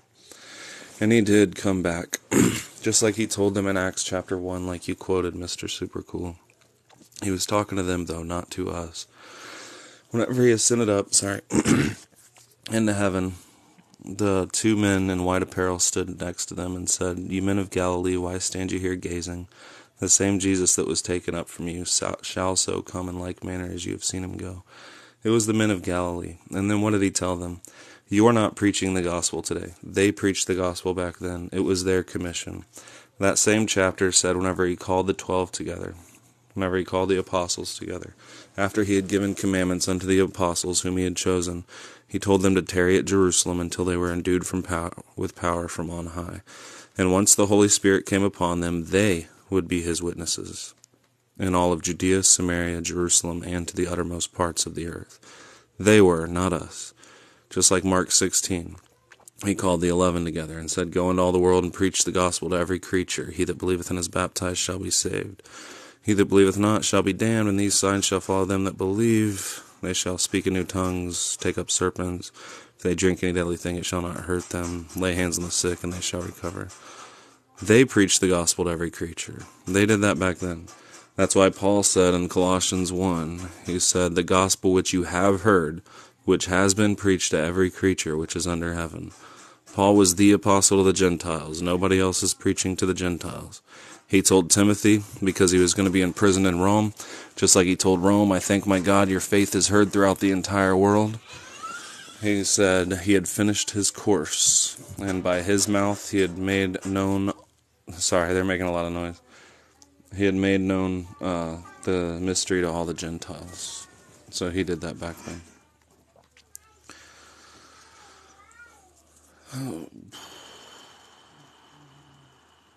This man knows nothing about the Bible. No, that's that's a weird thing to say after how much I've been talking and how long you've been in here. Keep studying because I have much to learn. Yeah, right. Okay, thanks, Tina. Don't be deceived. This speaker almost looks like that Trump prophet preacher singer. What the heck are you talking about, Trump prophet preacher singer? Nothing except guest. I dare you. Now I'm good. Am I Christian? No. Christianity ended in 70 AD. Jesus used to be the door to heaven, he is not the door today. Don't act like a know it all. I'm just going to tell you if I know things. Why not? Aren't you wanting to tell me what you know? You can say whatever you want, it doesn't mean you know anything. Okay, that's fine. Protestant wacko. Yeah, yeah, the Catholics are great though. How do you interpret John 3:16? Funny story, John 3:16 isn't actually the words of Jesus. It's the words of John. Jesus didn't repeat himself. John 3:15 and John 3:16 say the same thing. So John 3:16 shouldn't be in red. It's the words of John. Jesus had just said the exact same thing the uh, place before that, and then John was explaining that. He was explaining it. He said, For God so loved the world that he gave his only begotten Son, that whosoever believeth in him should not perish, but should have everlasting life. It's true. That was true back then. But you have to believe the rest of the Bible that says that Jesus Christ did a short work on the earth. You got to believe that. That he appeared once in the end of the world, that yet a little while, and he who tarried would not tarry but would come, that the night was far spent, the day was at hand, that they were gathering themselves together the more so as they saw the day approaching, that they were making their moderation known unto all men, that the Lord was at hand, that they were looking and hasting to the day of God, that there were many antichrists because they were living in the last hour, that the coming of the Lord drew nigh, that the mystery of iniquity did already work. You've got to believe all the rest of that, man. And that he was coming quickly and his reward was with him, and those things would shortly be done. That generation wouldn't pass until all things were fulfilled. 1 Corinthians 15, 24 through 28 said, God delivered all things to Christ, and Christ reigned until all things were put under his feet. At the resurrection, he delivered the kingdom back up to the Father, and became subject to the Father, who did put all things under him, so that God could be all in all. The marriage supper came, and the door was shut. Read Revelation 19. Once the marriage supper came, the Lord God omnipotent began to reign, just like it said in Corinthians. Jesus finished his work. Marriage supper came, door was shut, Lord God omnipotent began to reign, or omnipotent, however you want to say it. Why does my Bible say no one knows the hour? It, it does say that, but it doesn't say that no one, no one knew the seasons. He actually said, You are not in darkness, brethren, that that day should overtake you as a thief. He said, You know. He said, I have no need to write unto you. As for the times and seasons, brethren, I have no need to write unto you, for ye yourselves know that the day of the Lord shall so shall so come as a thief in the night. He said, But you are not in darkness, brethren, that that day should overtake you as a thief. And he told them to be sober and watch.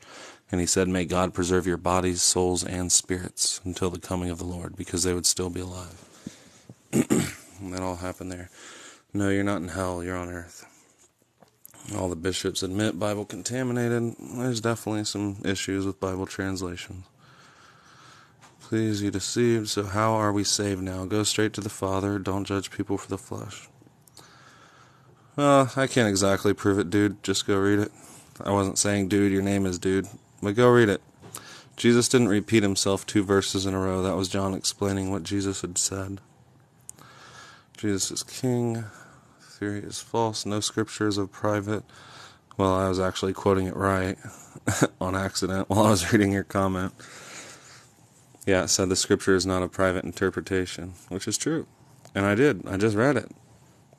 And you got mad and said, read that. I read it to somebody that is in 45,000 different denominations. in one of 45,000 different denominations that claims to have the Holy Spirit but believes it tells them something different than it tells everybody else. That most likely makes rapture predictions and antichrist uh, predictions that don't come to pass, and then you still think that you have God. It's crazy. Jesus went to hell for three days. Yeah, he did. You should have believed in him. I am not against Jesus. But you should also be against the Christians. Why don't they believe everything that Jesus said? Why don't they believe that that temple was destroyed and the believers already fled and they were never heard from again?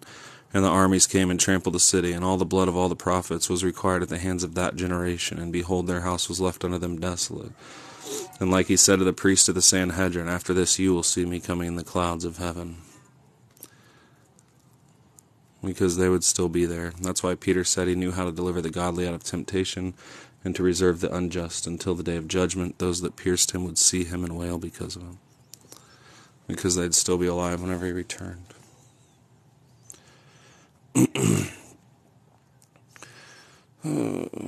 Anyone who has a real relationship with the Holy Spirit knows the truth, period, huh, Brian? You think that? That'd be so weird to live in your world, man because somebody who disagrees with you would say your exact comment to yourself.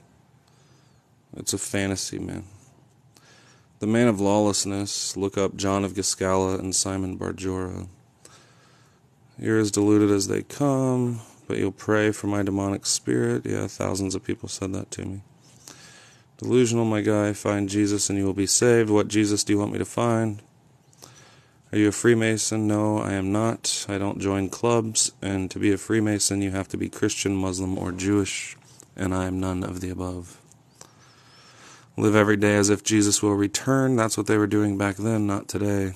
I think it did happen last night. I don't know what you're talking about. The third temple hasn't ever been built. There is no third temple in Scripture, ever. Daniel and Ezekiel both lived at the time whenever Solomon's temple was destroyed, and they were prophesying about the next temple being built. There is no third temple in Scripture. Jesus came after that temple was built, and he pointed at it and said, Not one stone in that temple would stand upon another. Who is the man of lawlessness? I already answered that. Sorry, I'm scrolling down. I'm a little behind on the comments because I like to try to answer stuff. Can you please explain why you blaspheme the Holy Spirit and don't care? I blasphemed your Holy Spirit. I never blasphemed the real one. The real Holy Spirit was amazing. It led them and guided them into all truth, not 45,000 denominations, not presidents swearing on the Bible, not war, genocide, and tyranny, not 2.5 billion liars. And the real Holy Spirit was amazing. You could walk behind somebody with it and you would get healed. Now you can have preachers, because I've been in the churches, where preachers can come out and lay hands on people and heal them. And people speak in tongues and fall under the power of this preacher but then they find out the preacher's been hurting little children. If you had the real Holy Spirit, that guy would have dropped dead. What year was the book of Revelation written? It was actually written around 65 AD. People have heard today that it's written in the 90s, but that's not true. That is a made up doctrine by a man named Irenaeus. Irenaeus lived, he wrote a book against heresies in 180 AD 110 years after the temple was destroyed. And in that book, he said Jesus Christ was 50 years old whenever he's crucified.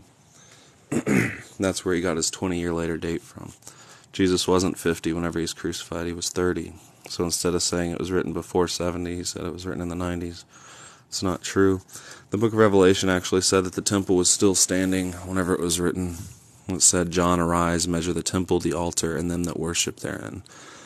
It said that the beast blasphemed his name and his tabernacle because the temple was still standing. It said the dead in Christ were waiting under the altar. The book of Revelation was written while the temple was still standing, and you can go back to older history by Papias, who said that John was exiled to Patmos under Nero, and he got off of Patmos and was killed at the hand of the Jews, killed by the hands of the Jews in the mid 60s. Wait, can you explain what you think the real Holy Spirit is again? Uh, nobody has the real Holy Spirit today. Nobody. Doesn't matter who they think they are. I've talked to millions of over the last decade or so. Christians, it's not the same thing. The real Holy Spirit ended back then. But everybody's afraid to blaspheme what the church has told them they received because of a verse in the Bible that said if any man blaspheme the Holy Spirit, they would have never forgiveness, neither in that age or in the age to come. But all that meant was they wouldn't have forgiveness in their lifetime and they wouldn't have eternal life in the age to come. Like Jesus told them if they followed him, in the ages to come he would have they would have eternal life. They've had eternal life this whole time. We live in the ages to come. The Holy Spirit was amazing. It wasn't actually 33. It was 30 AD.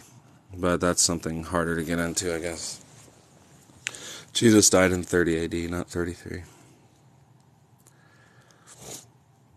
The reason people say that he died in 33, I guess I'll just explain it since I said it, is because they count how many times it says Passover in the book of John. But John only talks about one winter, and there's a bad translation in John that says the Passover, the feast of the Jews, was near, right?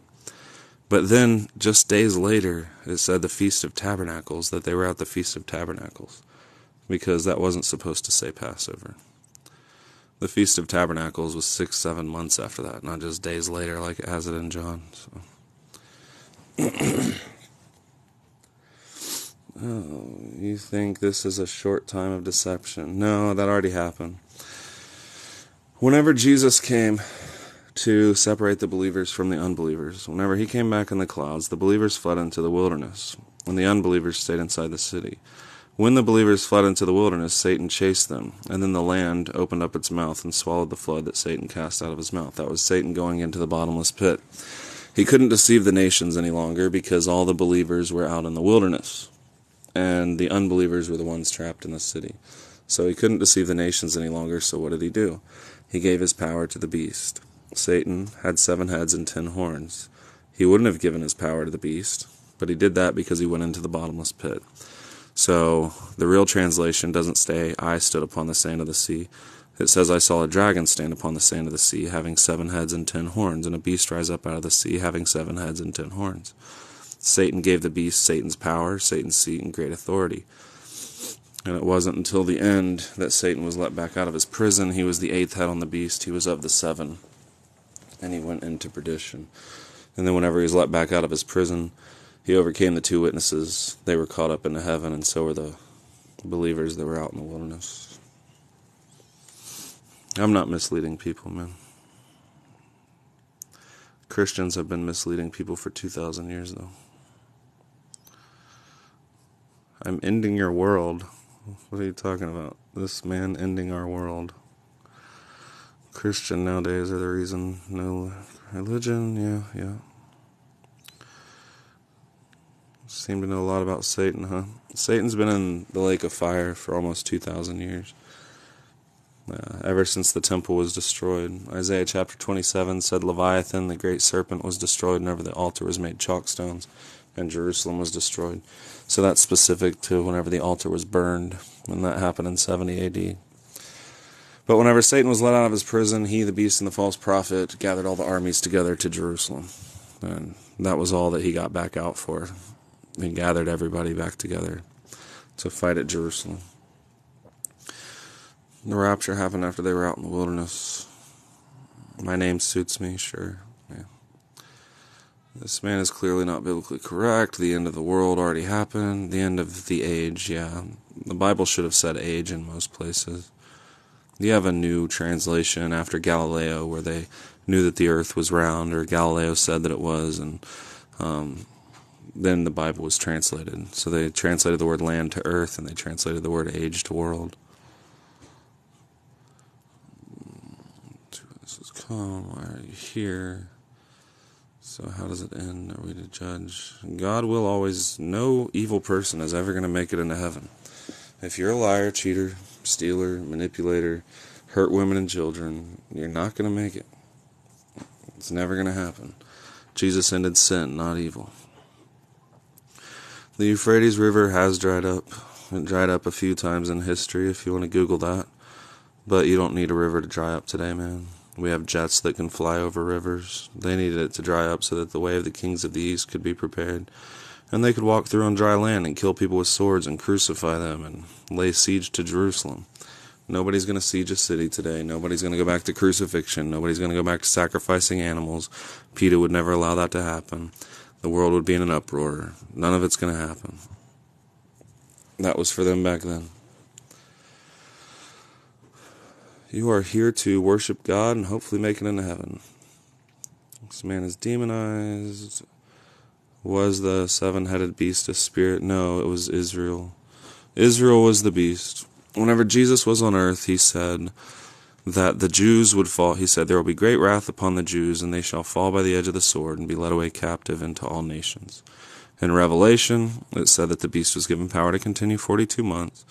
And he said, Hear what the Spirit says. If you kill with the sword, you must be killed with the sword. If you lead into captivity, you shall go into captivity. The beast was unbelieving Israel. Jerusalem sits on seven hills. The beast carried Jerusalem, which was Mystery Babylon. Jesus said a prophet could not die outside of Jerusalem. O Jerusalem, Jerusalem, thou that killest the prophets. In her was found all the blood of the prophets and the saints that were slain upon the earth. And her house was left unto her desolate, and Mystery Babylon was left desolate in one hour, and her precious stones were thrown down, just like Jesus said with the temple. Do you see this temple adorned with goodly stones? Not one stone in this temple shall stand upon another. So the beast was Israel, Jerusalem was Mystery Babylon, and Rome was the rod of iron. Jesus got power over the nations. God put in their hearts to fulfill his will and to make her blind and desolate and burn her with fire. And she hated Mystery Babylon. That's what happened. That's why Jesus said, whenever the Gentiles came to Jerusalem, there would be great wrath upon the Jews, and they would fall by the edge of the sword and be led away captive. I haven't gotten a drink of anything in a long time, so. Guys, I have tons of videos. I, I know everybody's liars. I know you can just scroll through TikTok and nothing makes sense, and everybody's saying something else, but I do have a lot of videos on YouTube and my TikTok, and I have written books, but you don't need to buy my books. If you don't want to, I got videos explaining all that stuff, you know, on my YouTube. Like three hour videos, even. Yeah, such division among the church these days, one thing for sure Jesus Christ is Lord and Savior. He's not. He used to be. Daughters of Zion are here now. No, they're not. Jesus said, O daughters of Jerusalem, weep not for me, but weep for yourselves and for your children. For the days are coming whenever you shall cry for the mountains and rocks to fall on you and cover you. That happened under the wrath of the Lamb. Under the sixth seal, they cried for the mountains and rocks to fall on them and cover them.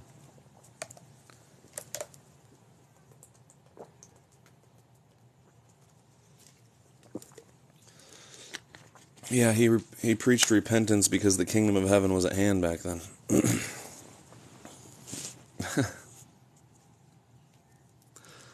Sorry, some comments are funny. So where did you study all this so we can just read the Bible, man? You don't need anything else. Thanks, Grace Message. Uh, read the Bible and go straight to God. You really can't get any knowledge unless it comes from God. You can't. You got to go straight to the Father and know, and you got to get stuff like that.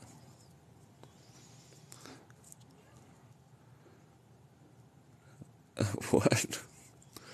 Confess who you think Jesus is. Jesus Christ was the Son of God that came down from heaven, like it said in John. He was born of, of a virgin.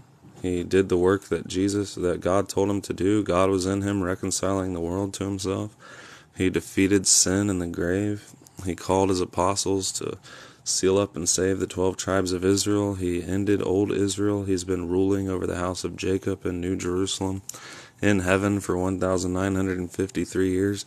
He took away the sins of the world. He appeared once in the end of the world to put away sins by the sacrifice of himself. That's who Jesus was, the greatest thing that ever happened on this planet. Oh, you've already got grace. You live in a fulfillment. You're in Revelation chapter 9. It can't be. The dead in Christ were waiting under the altar under the sixth seal. You're in chapter 9 now.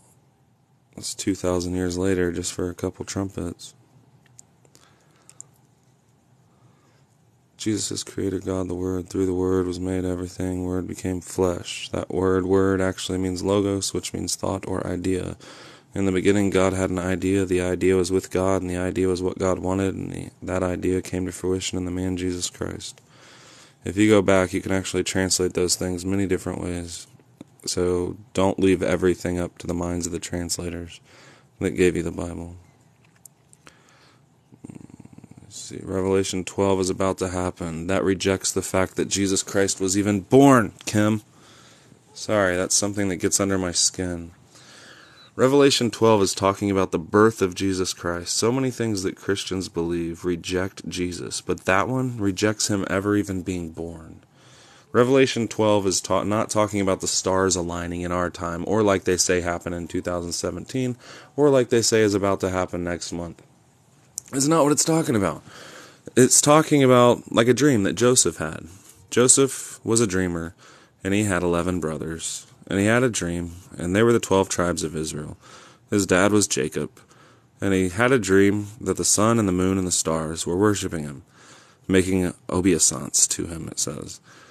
And his father said, Should I and your mother and your brethren bow down and worship you? The eleven stars are worshiping him, and the sun and the moon.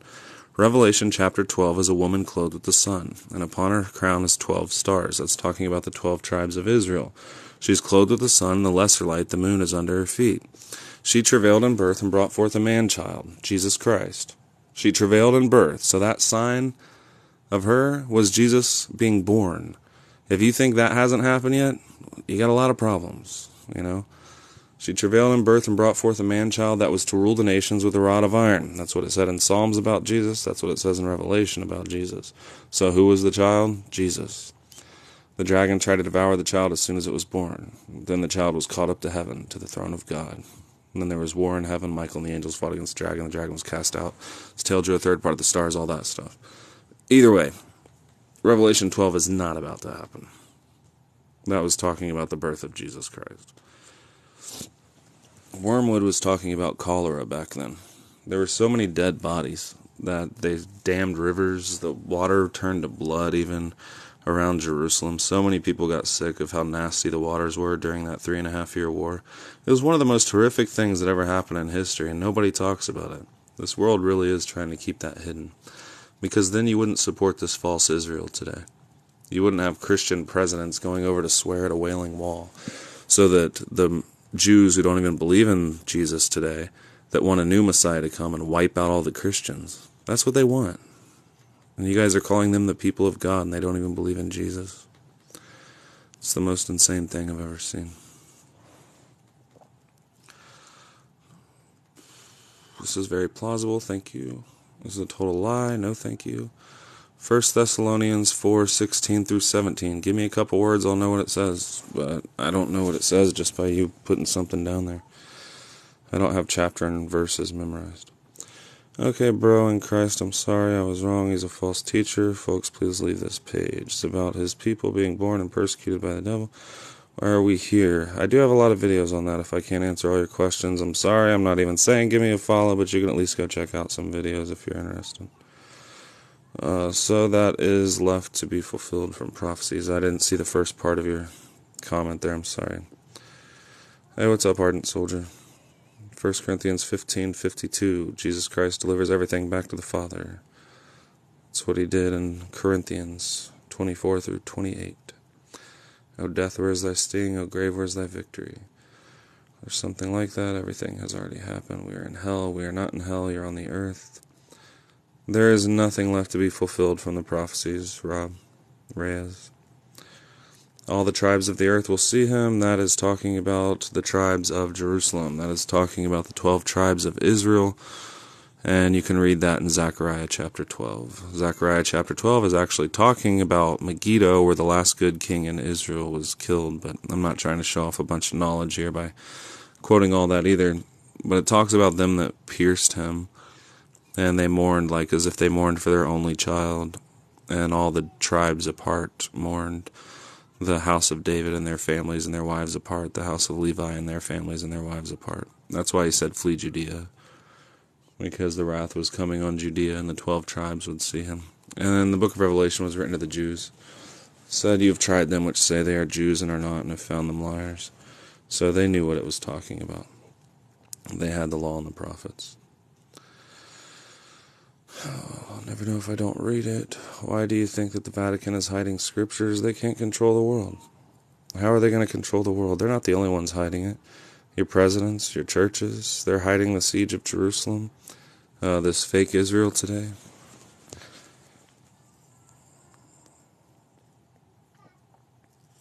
The son of perdition. Well, the son of perdition, if you're talking about the man of sin, that already happened in history. He was in the temple. Oh, no problem, Ron. So, do you believe that Jesus returned the second time? Jesus returned in 66 AD. The sixth seal happened in 66 AD, and the seventh trumpet happened in 70 AD. If everything happened already, why is the Bible unfolding before our eyes? I literally just made a video on my page that says, Is Revelation unfolding before our eyes? That's the last video I made. Uh, I made a video about the mark of the beast, too. The mark of the beast was the law, the prophets, the Tefillin, the phylacteries. Jesus Christ came to redeem the, them from the curse of the law and fulfill the curse of the law. You're grafted in, you're not grafted in. Paul was the apostle of the Gentiles. Nobody you've ever heard preach is an apostle.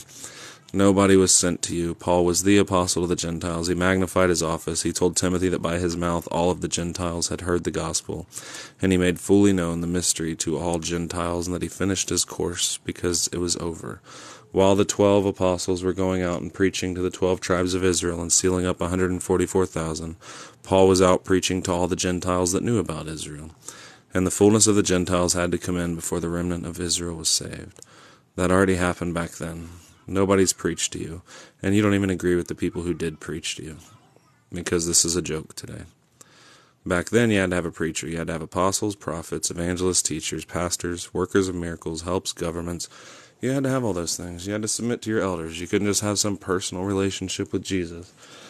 And somebody had to be sent. They had to be eyewitnesses to be sent to preach to you. They were eyewitnesses.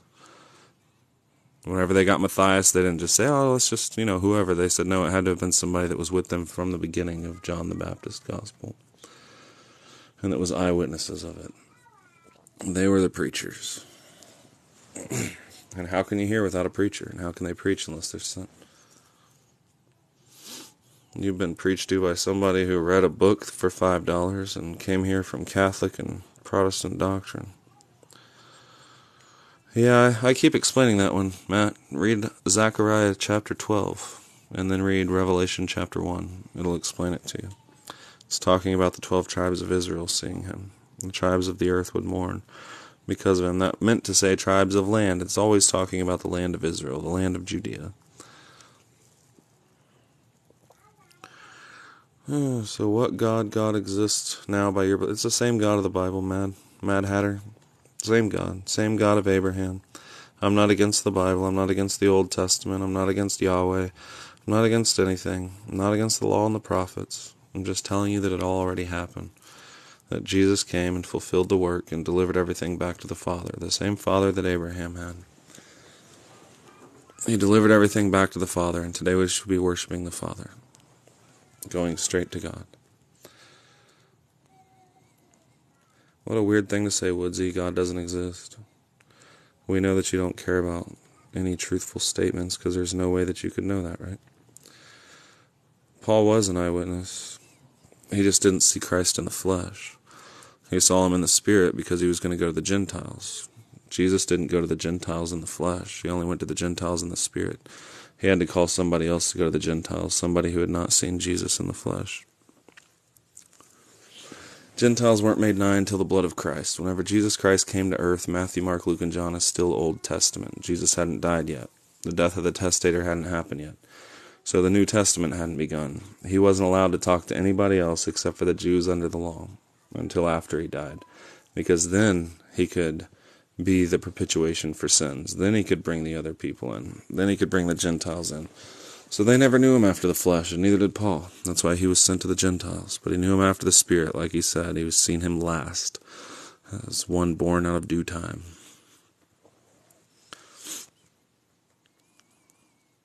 Read 1 Thessalonians 4.17. I don't like stopping for one person and looking up one verse. I asked you, since I'm talking to a lot of people, type in a couple words that it says. Instead of wasting your time and typing in read 1 Thessalonians 4:17, type in a couple words and then I'll know what it says. I don't want to stop and grab a Bible. Read Revelation and know there's no pre trib. I never said there was a pre trib. Those who came out of great tribulation and loved not their lives unto the death. Pre trib rapture stupid.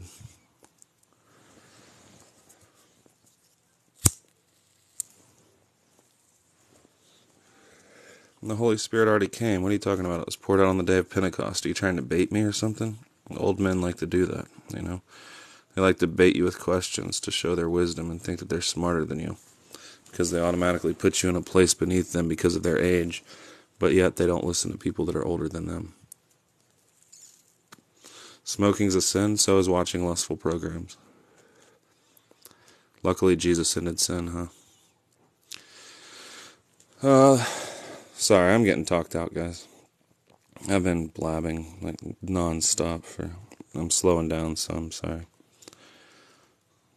Um, yeah, the rapture already happened. After the believers fled into the wilderness, the Roman armies came in 66 AD. Jesus was actually seen on the clouds in 66 AD. It's written in history by eyewitnesses.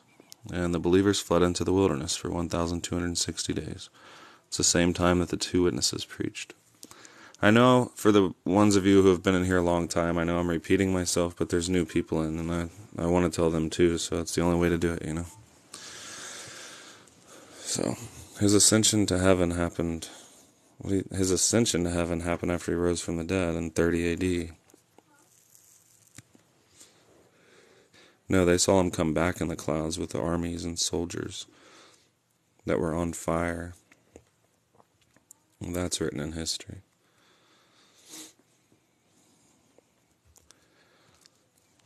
Uh, so if Jesus paid for all sins, oh, thank you, James, my friend. Jesus paid for all sins. Why aren't all people going to heaven now when they die? Because he didn't end evil. He only ended sin. Sin was condemned in the flesh. Adam and Eve didn't die the day that they ate the fruit. That fruit of the tree of the knowledge of good and evil already existed before sin entered the world. It never said that Jesus would end sin, just that he would end evil. I mean, it never said that Jesus, see, I've been talking too long. It never said Jesus would end evil, just that he would end sin. So he ended the flesh, the sting of death, the grave. So now we have access to God and we can go straight to heaven whenever we die. You're not all sinners. Nobody's a sinner today. Nobody's a sinner, but Christians are evil, yes. So are Muslims and Jews. It's true. What is the mark of the beast? It was the law and the prophets. the law was given. It said, Bind this upon your hand and let it be for frontlets between your eyes. You can see Jews wearing it today. It's called Tefillin today. It was called phylacteries back then. It was a little scroll that they put in a box with Torah, whatever scriptures from the Torah they like. And they bind it upon their hand and their head. And Jesus Christ came to redeem them from the curse of the law, and he became the New Testament where they had the laws of God inside of them through the Holy Spirit. But those who rejected him and kept the law instead, they took the mark of the beast. He was the New Testament, which was the seal of God, which was the Holy Spirit, and they were keeping the Old Testament, which was added as a curse because of their transgressions.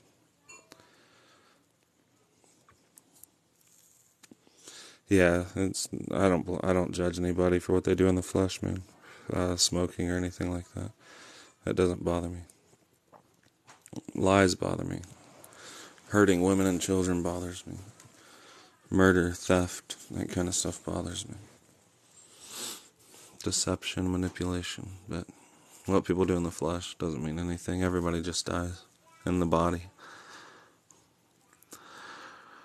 We are demons today, ardent soldier. God puts the soul of every man and woman